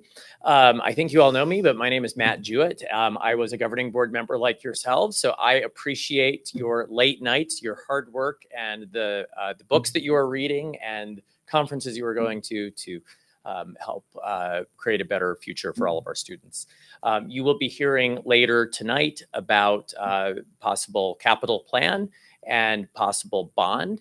And uh, I am the chair of Yes Creighton Kids and have been, this is my fourth cycle. Um, you saw I have someone else who's a helper here because I'm trying to, uh, I keep saying every time that this is going to be my last time, but I think it finally is. So, um, but we are happy to get more and more community members. Um, Suzanne Schweiger Nichols continues as our treasurer. I think that, you know, she's interested in also moving on. If you know anyone who's interested in filing financial reports for a campaign, um, send them our way. But um, we stand fully behind whatever you decide tonight. And if you decide to go to the voters and ask for support on a bond, we are here to support you in that. And we will bring to the table the resources that uh, Political Action Committee can do. Thank you very much. Thank you. And Ms. Juarez, I believe we have an online. I mean, emailed, yeah. Thank you. Let me start this because it's also three minutes. This is from Miss Carrie Sampson. Um, Dear Creighton Elementary School District Board members, first, thank you for your work and dedicating your time and service to the Creighton community. I know it's a lot and your leadership does not go unnoticed. On your agenda tonight, you are planning to discuss and possibly vote on the student outcome focused governance framework work goes tonight. I am concerned. A few weeks ago, I removed my son who was in third grade from the Creighton Academy and the Creighton Elementary School District. I remain, however, a voting resident of this district. Part of this move of my son was because of bullying, but the other part that solidified my decision was because of the overcrowded classes he was in and the hyper focus on test prep. Of the latter, for example, in February, the school instituted March Madness, which required teachers to remove 20 minutes of social studies instruction each day in order to go over five test questions. This lasted about six weeks. There were also dozens of messages, including details about incentives that can be dehumanizing for our children, sent to parents concerning the need for their children to show up and do well on the test. This had my son full of anxiety about the possible consequences of missing the test or doing poorly. I had to continuously reiterate that he is more valuable than a test score and that he doesn't need to be concerned with his performance. For an eight year old child to feel this anxious about testing is ridiculous. How many children felt this? And I bet parents whose children are in schools located in more affluent areas don't experience this. If I could, I would opt my kids out of testing, but there are very few options without taking them out of school the entire time. With these goals, I am concerned that this hyper focus on testing will only be intensified. The framework you are about to vote on is focused on student outcomes that are solely standardized test scores. This is extremely narrow. My concern is that high stakes accountability testing is dangerous and is often not achievable and or unsustainable. Instead, I would love to see the district adopt goals that include less narrow outcomes aside from test scores.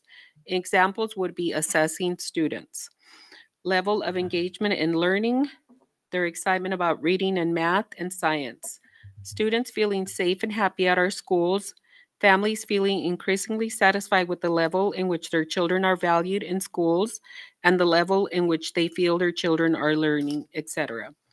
Other goals include discipline outcomes. I urge the district to identify outcomes aligned with ac- academic research which lead to student learning, including small class sizes, culturally relevant curriculum, etc. There are ways to measure these outcomes. Again, I am not supportive of these test focused goals. In- and I think all the board has a copy of this email. Thank you, Ms. Juarez. Okay, with that moves to our next approval of consent, which is our item six on the agenda. Can I pull one? Absolutely. Sorry. You go ahead and you can go ahead and make the motion. Yeah. Um, can uh, I move to approve uh, consent agenda items six A through six F? Six A through what? Six F. F. So you're pulling G? Yes. Okay. Hold on one second, sorry. It's the one that not my kid. Oh, okay. Yeah. Yeah, not for bad reasons. Is there a second? I'll second. Okay. Thank you for being here. Thank you. All those in favor? I apologize. Aye. Aye. Go ahead, Ms. McCaleb. Um, no, I uh, again, not bad reasons.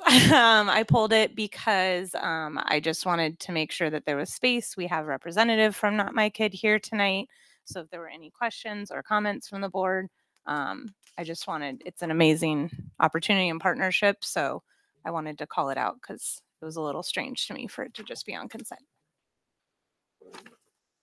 I don't know if there's specific questions or if we want a little. Um, I do not have any specific questions. Does anybody have any questions or comments?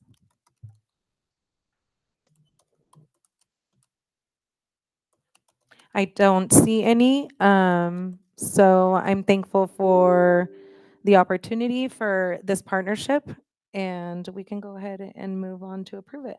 Yeah, I've heard great things about the organization as well. So I think it just, I just want to emphasize that, you know, especially because we've been a lot of like test scores, right? Um, the, these are those pieces that are those additional inputs that fall into those guardrails that make sure that our kids are emotionally safe and healthy and are able to get to the learning. So it's just really important that we continue to expand partnerships like this. Not to like single you out, but is there Yeah. anything you feel moved to share after listening to our conversation this evening? You don't have to say anything. I'm just making sure.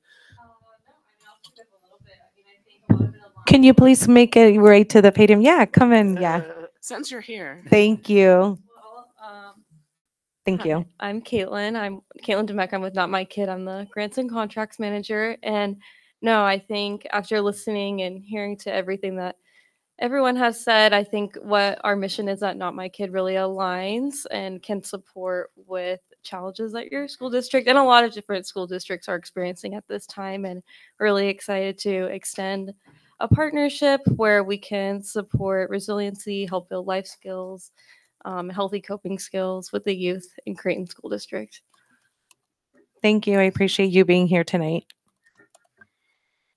Okay. All right. I move we approve item, uh, consent agenda item six G. I s- All those in favor? Aye. Perfect. Motion passes. And that brings us to personnel, which is item eight A. And I will take that over to Mr. Mann or Dr. Lauren. Yeah, I'm, um, I'm going to go ahead and kick us off, and then I'm going to ask Dr. Dupin to help me out for a second, and then, Yeah. of course, we'll go to Dr. Lauren. So, um, you know, this this one's a little unusual, so I wanted to just kind of point to the fact that um, it, it is a restructure, and it is based on a number of different things that actually date back to my time um, as a candidate for superintendent, uh, the 90 day plan, uh, input and information from our governing board about a desire to evaluate some of our systems. And so um, we did bring in an outside consultant who did an evaluation um, of our structures and systems. Um, what, what we're bringing before you is in alignment with the feedback that we received. Um, and uh, you know, when you do a restructure like this, it's a little bit different than when you're adding positions because one of the goals was uh, to try to reduce administrative cost and reduce total number of administrative positions without losing capacity to continue to bring in the critical funding that we need to do the work that we do.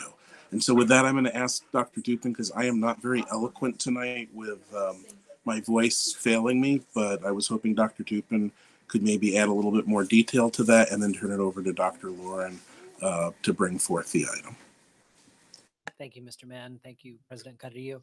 This reorganization that is before you for consideration this evening reflects a great deal of intentionality around um, purpose and role alignment. So there's there's probably a lot of different ways reorganization could be accomplished. But when thinking about effective schools and our grants in particular, the number one priority of those entitlement programs is to ensure that resources are directed, much in alignment with our student outcomes focused governance conversations, toward supports services that create greater opportunities and reduce gaps in achievement for students, particularly our most marginalized. That's the whole intent of, of the grants fundamentally that are managed in effective schools. In addition to that, and I believe it was you, President Carrillo, who talked about the importance of communication relative to engagement. When you think about also the purpose of, of, of Title I especially, but all the entitlement grants, the intention is to ensure that people who would otherwise be marginalized have a say-so in the governance of their schools, in the planning and the selection of those supports and services. And in order to do that, effective communication has to occur. And it can't be communication that's one way from the school system to the families. It has to be both ways and it needs to be in languages that are accessible to all involved. And it takes quite a deal, quite a quite a large amount of effort and planning and hard work to make that possible. We have a wonderful community engagement and outreach department, but that alone isn't enough to fully uh, achieve the the intention of the grants that we that we have to provide services and supports to our kids. So the rationale for this particular restructure, which blends effective schools and communications, is to ensure that we are re- streamlining our administrative roles in order to reduce costs, meet our intentions of student outcomes focused governance and the entitlement programs that we oversee so that we can maximize our impact. And it was felt that these this particular combination of roles was the best way to accomplish all of those objectives um, of the variety of possibilities. And we're fortunate that we have personnel within the district at this time who, although the learning curve will be steep, um, they won't be learning alone and they have the capacity to step into that um, and do so with great effect. Do we have any questions or comments? Um, the only comment that I have is that I'm thankful that Mr. Mann went around and administration did this. Um, in my one-on-one conversation with him, we did have some hard conversations and obviously we have to do what's best for students. And one of the biggest things that we continually see is that our communications does need uh, more support. It's impossible for one person to hold one job and be able to be everywhere at once, especially with the family resource center stuff that we're doing. There's just so much stuff going on that our families and communities to be informed of that with this restructuring and how it was explained in the one-on-one, I feel that not only is it aligned to what we're trying to get at with the framework, but it also is going to be a more of effective tool. So this is part of making hard decisions. Um, but I believe that it, it is going to be one that that is going to be effective for the betterment of our students. So um, with that being said and having no other, no comments? Did you need to add something? Oh, yeah, sorry. I was already going and I'm like, yes, heard everything. Uh, nothing much to add, just to note that there are two separate items that are contained in this uh, motion that also that include the approval of the job description for the executive director of effective schools and communications. Uh, that role, uh, many of the aspects of the two current roles, the director positions for effective schools and the director for communications and marketing, are combined. Uh, we tried to really look at what those job responsibilities would be so that we could streamline those roles as well as have support from manager level positions. And that's all outlined in that uh, structural organization chart. Um, we're looking at, as it says in the notes, uh, approximately $54,000 saving over time. Uh, that doesn't decrease the staffing either. That is the support staff, because I think uh, rightfully so in the conversations that we've had about the very important work that our grants team does, as well as the need for effective communication, is we really want to make sure that the structures are in place for us not only to be successful in our entitlement grants, but in the future as we start to deal with declining enrollment or continue to deal with declining enrollment, then how do we go out and look for competitive grants? And how do we make sure that we have opportunities that that aren't missed or ways to support if individual sites want to pursue grants or what that process would look like as well. So we look at it as a way to expand capacity as well as kind of streamline that function. Uh, so that job description is there. Uh, Emily Wasilek is being recommended as the executive director. Um, her bio is there. I think we all know Emily really well from our experience in the district. Um, she's currently our director of communications and marketing, and uh, we bring her name forward as part of that restructuring. Thank you. Any comments? Okay. I move the governing board approve the job description of Executive Director of Effective Schools and Communications and approve Emily Wazolik for the position effective April 25th, 2024. Second. All those in favor? Aye. Motion passes. Congratulations. Uh, more work now. Yeah. That brings us to our next item, which is 10A. So, Madam President, members of the board, um, I am going to not even preamble this one. I'm going to hand it over to the more than capable uh, Ms. Shapiro to uh, walk you through the, the bond resolution. Thank you.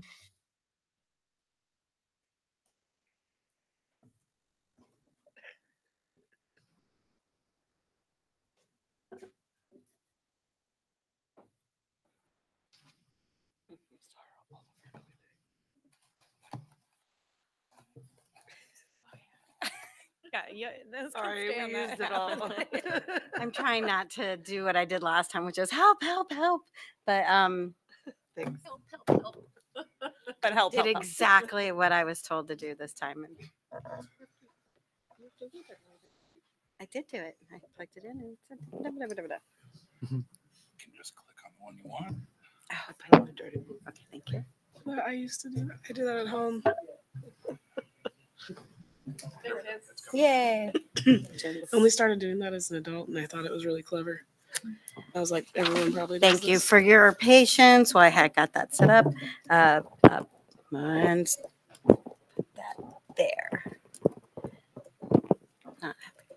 Uh, President Carrillo, board members, Superintendent Mann, I am happy to bring an item for the board to consider, discuss, amend if desired, and deemed advisable to adopt a resolution ordering and calling a special bond election. Um, Prior to uh, bringing that item and asking the board to take action, um, I would like to present the recommendation of the Fiscal Stewardship Committee. And I have a quick presentation before we bring that resolution item forward. So I did want to just very quickly um, review in more of a simplified format what bond dollars are used for. I know sometimes there's confusion. Uh, This is money generated from a bond election. It can only be spent on specific things like buildings, grounds, furniture, those capital items and needs for a district, um, also transportation vehicles. Bonding authorization is good for 10 years. Districts use these funds as a loan. So you want to make sure that these um, items that we're purchasing, these assets for our district have a lifespan longer than five years and, um, uh, and, and stay within that process and what bond dollars are specifically for versus regular capital dollars. Bond dollars typically cannot be spent on salaries. I wouldn't say never, um, but it's very, um, spe- specified and what they can be used for is like if you had a construction project manager who is overseeing a bond construction project, then some of those dollars could be used to pay for a potentially a salary. These dollars cannot be used for district-wide uh, salary support purposes. In 2016, the district uh, called and successfully passed an $85 million bond. Over an eight-year period, those bond dollars have been used for campus rebuilds and construction. The Creighton Academy, the new, brand-new Kennedy School that's going on, the beautiful one, um, new gymnasium at the Biltmore, newly remodeled middle school wing at the Biltmore, amphitheater, sports field, Monte Vista, district-wide um, remodels, um, restroom remodels. I know there's been a lot of conversations when those came forward uh, to the board. Um, Enhanced learning spaces, um, there was an open roof for a better learning space at uh, Excelencia, I believe, not, I believe it was um, multiple purpose room remodels at Gateway and Excelencia. We did replace 17 buses and then a very large portion of your needs when you talk about bond dollars are those life cycle projects that are going to extend the asset. So you want to make sure that you stay up and not let things you know drift away. You want to make sure you have weatherization, parking lot um, resurfacing, uh, and so we did do those at a lot of our schools, but I was really excited to see the high efficiency air conditioning units. Those are great. Uh, definitely have a longer lifespan. That's a smart purchase.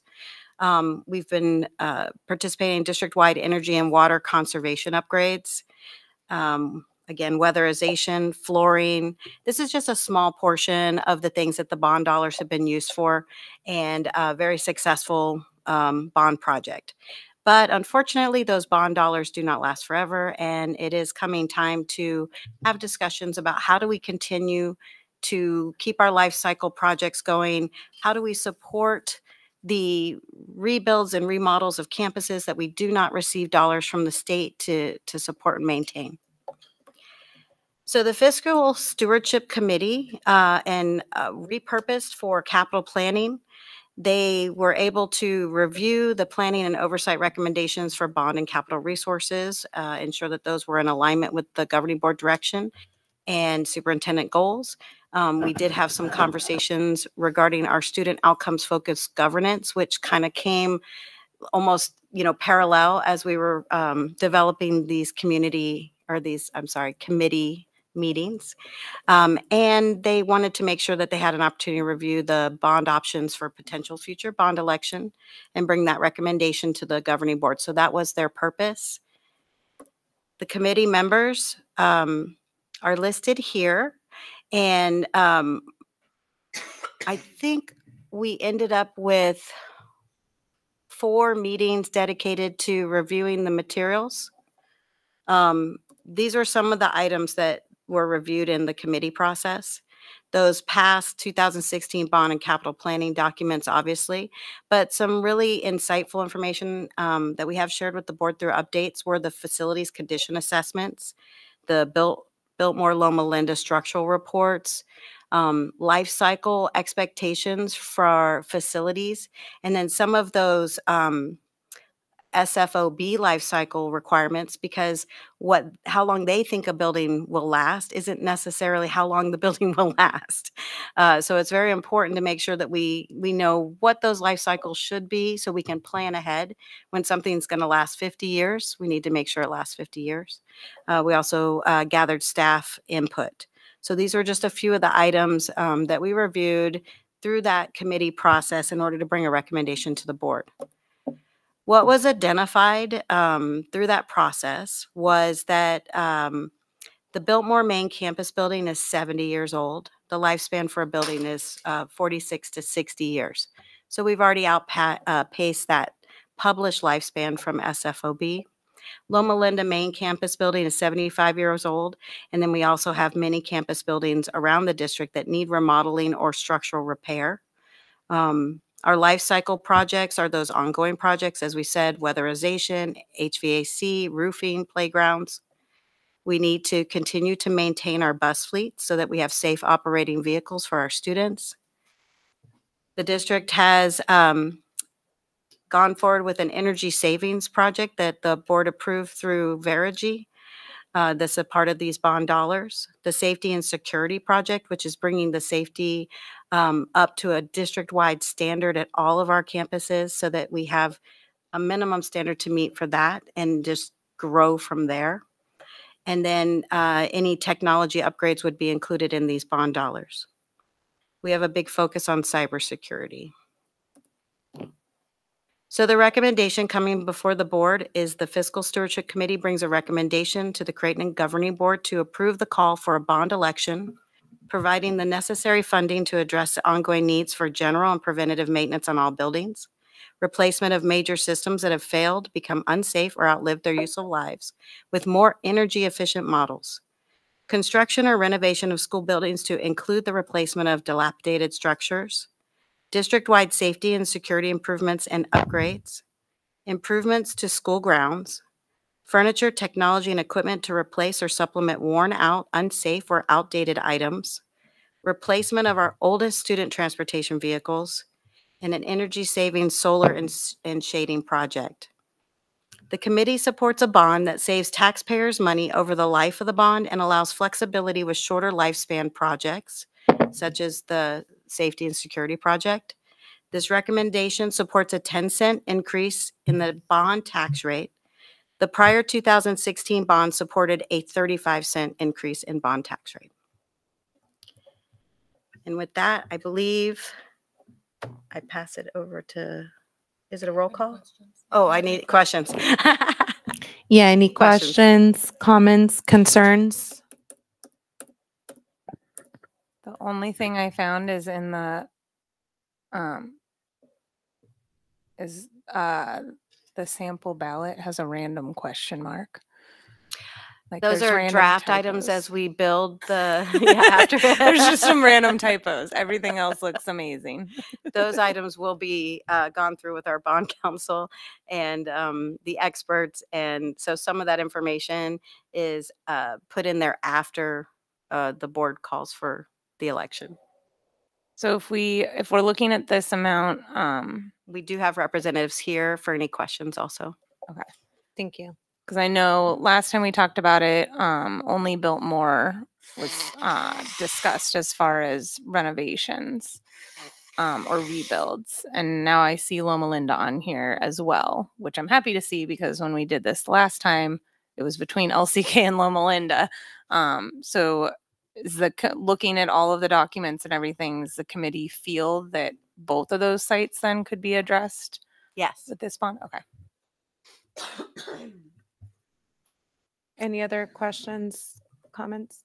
um you know i'm not a math person so the 10 cent increase in the bond tax rate is that an on top of the 35% the 35 cent increase from 2016 No, or are we that was- starting over Starting over. okay cool so this is kind of like a home equity line of credit on the district level like we're assessing our values they're giving us some money and Megan, we're using it to make improvements i'm trying to make this as simple as possible for people to understand I agree. Yeah. okay i think it just I think Megan has some good in information about it. with all of the bond tax rate and all that Right. Yeah. It is taking a loan out uh, through the sales of bonds. And as we were talking about keeping it simple, and are the bonds based on your assessed values or no yes. Yeah. okay Yes. that's what i was like okay this kind of just feels like when you're improving your house okay Yeah. Madam President, members of the board, um, executive staff, uh, thanks for being, letting us be here tonight. I'm happy to answer any questions, but yeah, a bond, I mean, it's similarly, I guess, is, it's not how I would put it, but I get what, I get how you're equating it, but yeah. y- your bond tax rate is already in place. So you have existing bonds in place that have been sold. And when they sell, it's like your mortgage, your home mortgage, like your principal and interest payments are locked in. Um, and so those repayments stay the same unless you were to refinance your home mortgage. So those rates and um, those dollar amounts are already locked in. And based on your current assessed value and what the existing bonds are, you have a tax rate of $1.26 on your bonds. And so what we're proposing to do is, or what we're discussing, um, is raising that future tax rate up to $1.36 Okay. to help support um, getting the district $85 million for these projects over the life of six to eight years. gotcha thank you yeah thank you yeah the plan also saves taxpayers over the lifespan of the bond uh, approximately $3 million. Okay cool yeah yeah because we're increasing the rate or p- potentially increasing the rate you sell the bonds you amortize the bonds quicker and therefore you have a lower interest rate or sorry a lower, lower interest cost um, saving you know what you have to pay back in debt service And um, residents will not really notice a huge s- change because we've had this bond in place for 10 years, right? And I know there is some good news in the neighborhood too, because we have that big data center being built. Yeah. And that's going to contribute a little bit more um, to the district tax burden uh, for residents. So the, the burden on residents will be a little bit less. Less, Yeah. correct. Um, Thank you for coming and that- sitting yeah, through our hopefully- meeting Hopefully that answered your We're back here tired. Thank you. Any Thank other- you. else? We'll just have Megan come every time. it's sure it's thrilling for her Thank you, Megan. Any other questions or comments? I don't have any either. I think we did a pretty good job at the study sessions. We've had a couple meetings. I think we've asked the right questions and um, I think we're ready to move forward. So with that being said, um, I go- I move the governing board approve the job. Oops, wrong one. I already did that. I move the governing board approve the resolution calling for a board, a bond election in November of 2024. Second. All those in favor? Aye. Aye. Oh, Aye. Does it have to be roll call? Do we need a roll, roll call? No. Okay. Aye. Aye. Aye. Aye. Aye. Motion passes. Thank you, and I look forward to all the work and collaboration. Thank you. All right, and our next agenda item is the budget information update. I am set up and ready to go.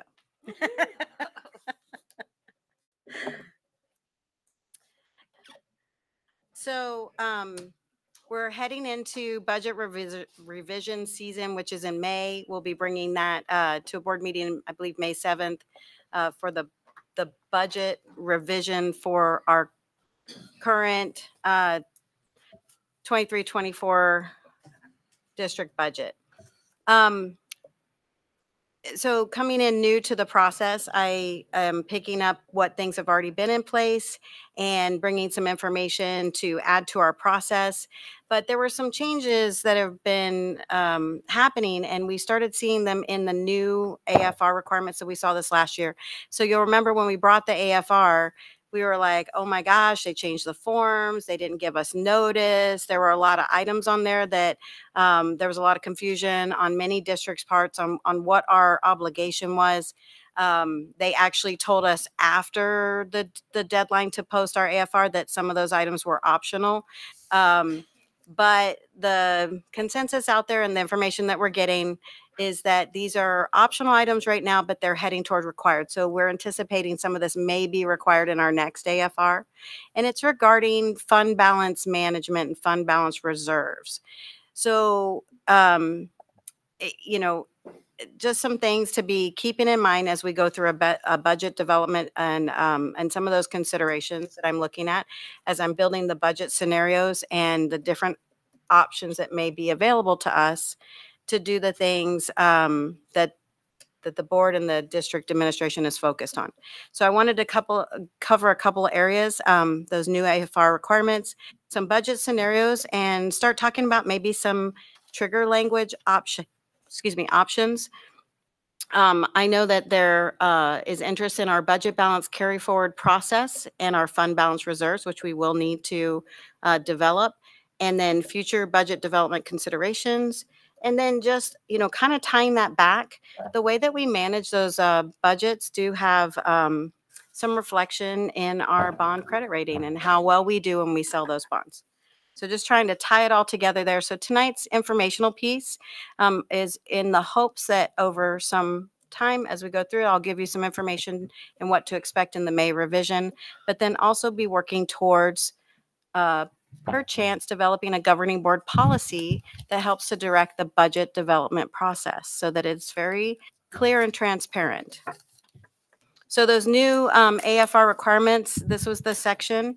It's uh, asked about a lot of different funds that we don't typically report out anything other than uh, beginning fund balance, revenues that came in, expenditures that went out, ending fund balance. Um, This section was required. uh, There was no notification, and we didn't necessarily have a plan or a process to answer the questions that were being asked of us. Because it isn't something that one person, like a budget creator, could answer. These are things that need to be developed through our budget process. Um, the optional questions were talking about, and it's very tiny, but it's like, what is your fund balance reserve process or policy? There are districts that do have um, some of these pieces already written into policy. So this was optional in FY 22-23, maybe required 23-24. We're still waiting to find out. Um, the intent, stated intent, is to create a more transparent fund balance management process, but there is some concerns with how, um, when we talk about information not necessarily being used with the intent that's put out there, um, there are some concerns with how this information may be used uh, in a state that maybe doesn't have as much support to public education as others. Um, So that's kind of what is triggering some of these conversations and the future information that I'll be bringing to the board is trying to develop what does that process look like in Creighton and working with the board and our stakeholders to develop something that, again, is very transparent. So as a part of that, it's having those conversations of what happens with the budget? How is it planned? Um, what do you do with extra funding? There have been mo- many budget years after we've planned the budget, which I'm doing right now, because as soon as we get that budget revision done for this year, I need to bring a budget to the next year before we've even closed out this year, before I even know where we're kind of sitting in the budget world. Um, I have to produce a budget, an adopt or proposed budget for the board to adopt. So um, after we've adopted that, and let's say it's halfway through the year and the legislator legislation brings some additional revenues, we don't really have a policy or a process in place to discuss what we would do with those additional revenues. Right now, those just kind of go into the budget and they become a part of the budget balance carry forward. So I've had some experience with developing language that kind of tells me as the budget creator um, when we do get extra funding where do we want to prioritize that? Where should that go? And and when should it go? It's not just that it, it's a couple extra dollars. It needs to be enough dollars to make some difference. Uh, so during that budget revision process we have uh, december revision. Um, that's when we have some opportunities to say and develop some options with maybe our meet and confer team that talks about contingency language. And these are all just options and ideas that we'll throw out there as we develop this budget process over time.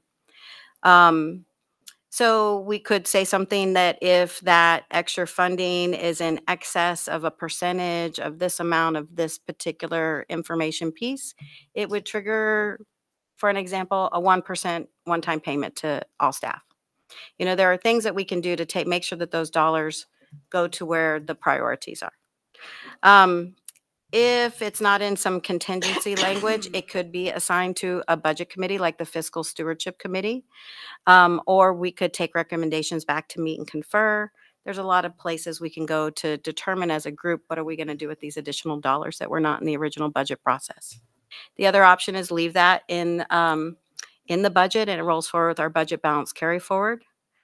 Um, in December, the board will receive a letter from the state that says that our budget is in excess of 1% higher than the adopted figure, then we have to do a budget revision.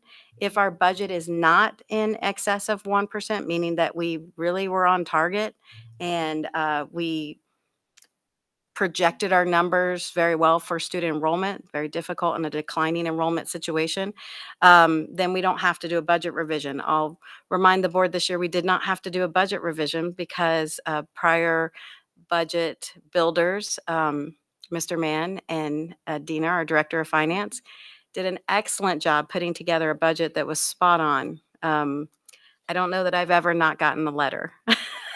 so that was pretty uh, fantastic. Um, and so before the December revision, you have some options and opportunity uh, that we could develop some trigger language. After December, um, it's just it's really too late. So by the time we have to do our final May revisions, if numbers have changed, if our student um, enrollment is recalculated not at the level that we thought it would be, or other factors that can affect your budget, by May it's it's just too late for any kind of trigger language. What we would do is just roll that into the budget balance carry forward. So this is the letter. Um, it's published after October 1st. It's addressed to the governing board. Um, again, it's if you exceed that 1% of the calculated budget limits and they require you to do a budget revision, um, it's the time for us to make some decisions. Budget balance carry forward, that's, um, so our M and O budget is determined by some, our student counts, our enrollment, and some transportation miles, and that creates the formula that creates the dollars that come into our M and O budget. Um, our budget is increased with a fifteen percent M and O override, uh, passed in twenty twenty-two by our voters. Those overrides are for seven years with one-third reduction to each. Um, in years six and seven, it goes down by a third. We will need to renew by year five to prevent that one-third reduction. So when you're looking at a budget uh, building process, it's just always good to keep in mind that those override dollars are not a for certain um, amount. You don't always necessarily pass those overrides. Um, but in this case, we've got a few years to uh, not have to worry about going out for another election or trying to pass another override. So that is built into the budget process.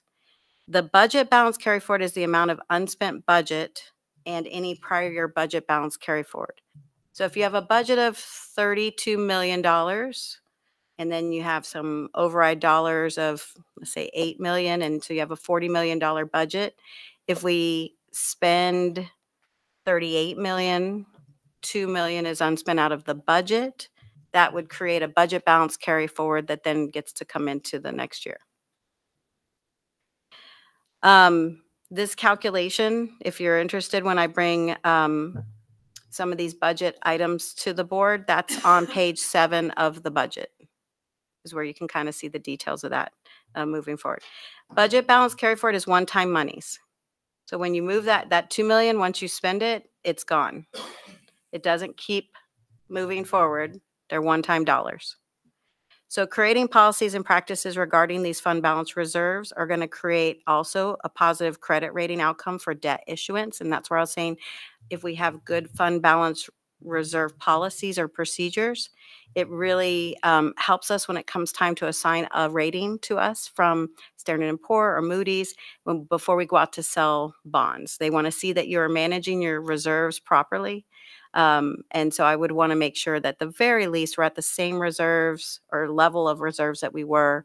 Um, I believe we had a good, like an A A rating at our last bond sale. So um, we'd want to at least maintain that level of fund balance uh, to ensure a good credit rating. Uh, this is page seven of the budget, very tiny, but um, this is where all these numbers come to play. And then you can see um, on the switch page. There, first page, budget balance carry forward from the prior year. There's the 8.6 million.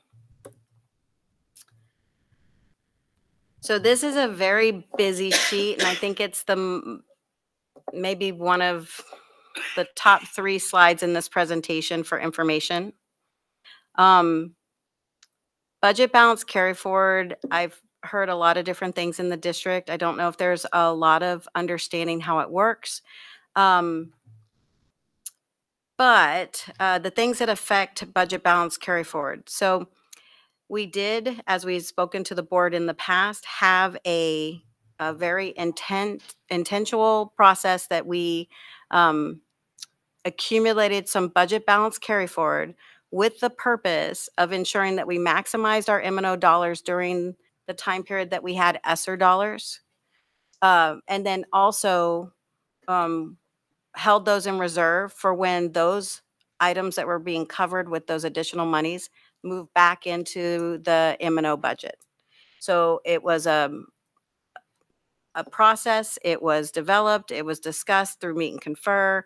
Um, and I walked into a very good situation where we did have that budget balance carry forward um, accumulated to handle very specific things coming back into our budget after ESSER funds are sunsetting. Um, so the items that can affect the total amount of budget balance carry forward are going to be those uh, recaptured M and O cost as the ESSER money sunset, one-time payments to our prepaid health insurance. It's very important that we have a focus there so that we can maintain that district coverage levels. If you uh, don't put a focus there, then what you will see is an increasing cost to our staff um, as healthcare costs increase. So as much as possible, you want to navigate that with some interest earnings and that prepaid health insurance allows us to navigate that area. Um, obviously, we always have a focus on classroom dollars, but in these future budgets, I also have a focus on SOFG driven expenditures. So I think it's very important that we start talking and, and about what do those dollars look like? How much are we holding in reserve? What, you know, how do we determine how those are directly supporting SOFG goals? Those conversations need to happen. So a very common way of uh, managing fund balance and creating policies and practice is to create percentages of various elements. Um, budget balance carry forward used to be restricted by the state to only, to no more than 4%. Um, there was a big pushback from school districts that we, they were constantly not able to perform and manage um, emergencies or um, the flexibility for those unseen needs. We would have never gotten through COVID with a 4% budget balance carry forward. In fact, I don't think most people can get through just the regular stuff, non-COVID, with a 4%. Um, so it was eliminated in 2016. So where I found sustainable budget balance carry forward percentages fall, looking through other districts and other district policies, other district practices, um, kind of just finding that commonality. It falls anywhere between 15% to 30%, and that was before COVID. Um, as we talked about, we had an intentional increase to budget balance co- uh, carry forward during the four years of ESSER funding. So ours ended up this year currently at 22.71%. That was at $8.6 million that you saw that was used to build this year's budget. I won't know our budget balance carry forward into the next budget until we're done spending in this year. That plan, when I gave you this sheet, you'll see that I had a budget balance carry forward target spend down. So that spend down was a five percent spend down of that um, that twenty-two percent to get us to the seventeen point seven one percent for this year's budget, which brings us to the six point six million, which left two million dollars to take to meet and confer. And um, I felt very confident in that number. Um, those are for ongoing, non-one-time, this, these are not one-time expenditures that we took to meet and confer. So what that means is that we're bringing those dollars, that $2 million back into our budget that we haven't been spending. So if our budget was 40 million, let's just say we, we spend 36 million, we're going to bring 2 million back into our budget and go up to 38 million for our annual expenditures. It's not that cut and dry and it's not that black and white. I just want to say that it's not simple, but it kind of is simple. You know, it is math. Um, so that's how the $2 million came to be to take to meet and confer, because that brings us to a 17.71% of budget balance carry forward. This doesn't include how much will, the complete amount that will be reduced uh, as ESSER funding sunsets. Um, So we do know that we have those existing expenditures that have to come back in. That was built into our budget also. Um, What I'm recommending is creating a percentage phase down as we go through the ESSER sunsetting to where we reduce the amount of budget balance carry forward down to something that I feel will be sustainable and provides good fiscal uh, budgetary health for the district, allows us to deal with unforeseen emergencies. Um, Right now, we're dealing with the fact that our title dollars are being cut and we don't know where that's going to end up. So when you have necessary um, programs and staffing, and then they cut it, what does the district do if you don't have additional dollars to support those programs and processes? So, um, you know, you always have to have some flexibility built in there.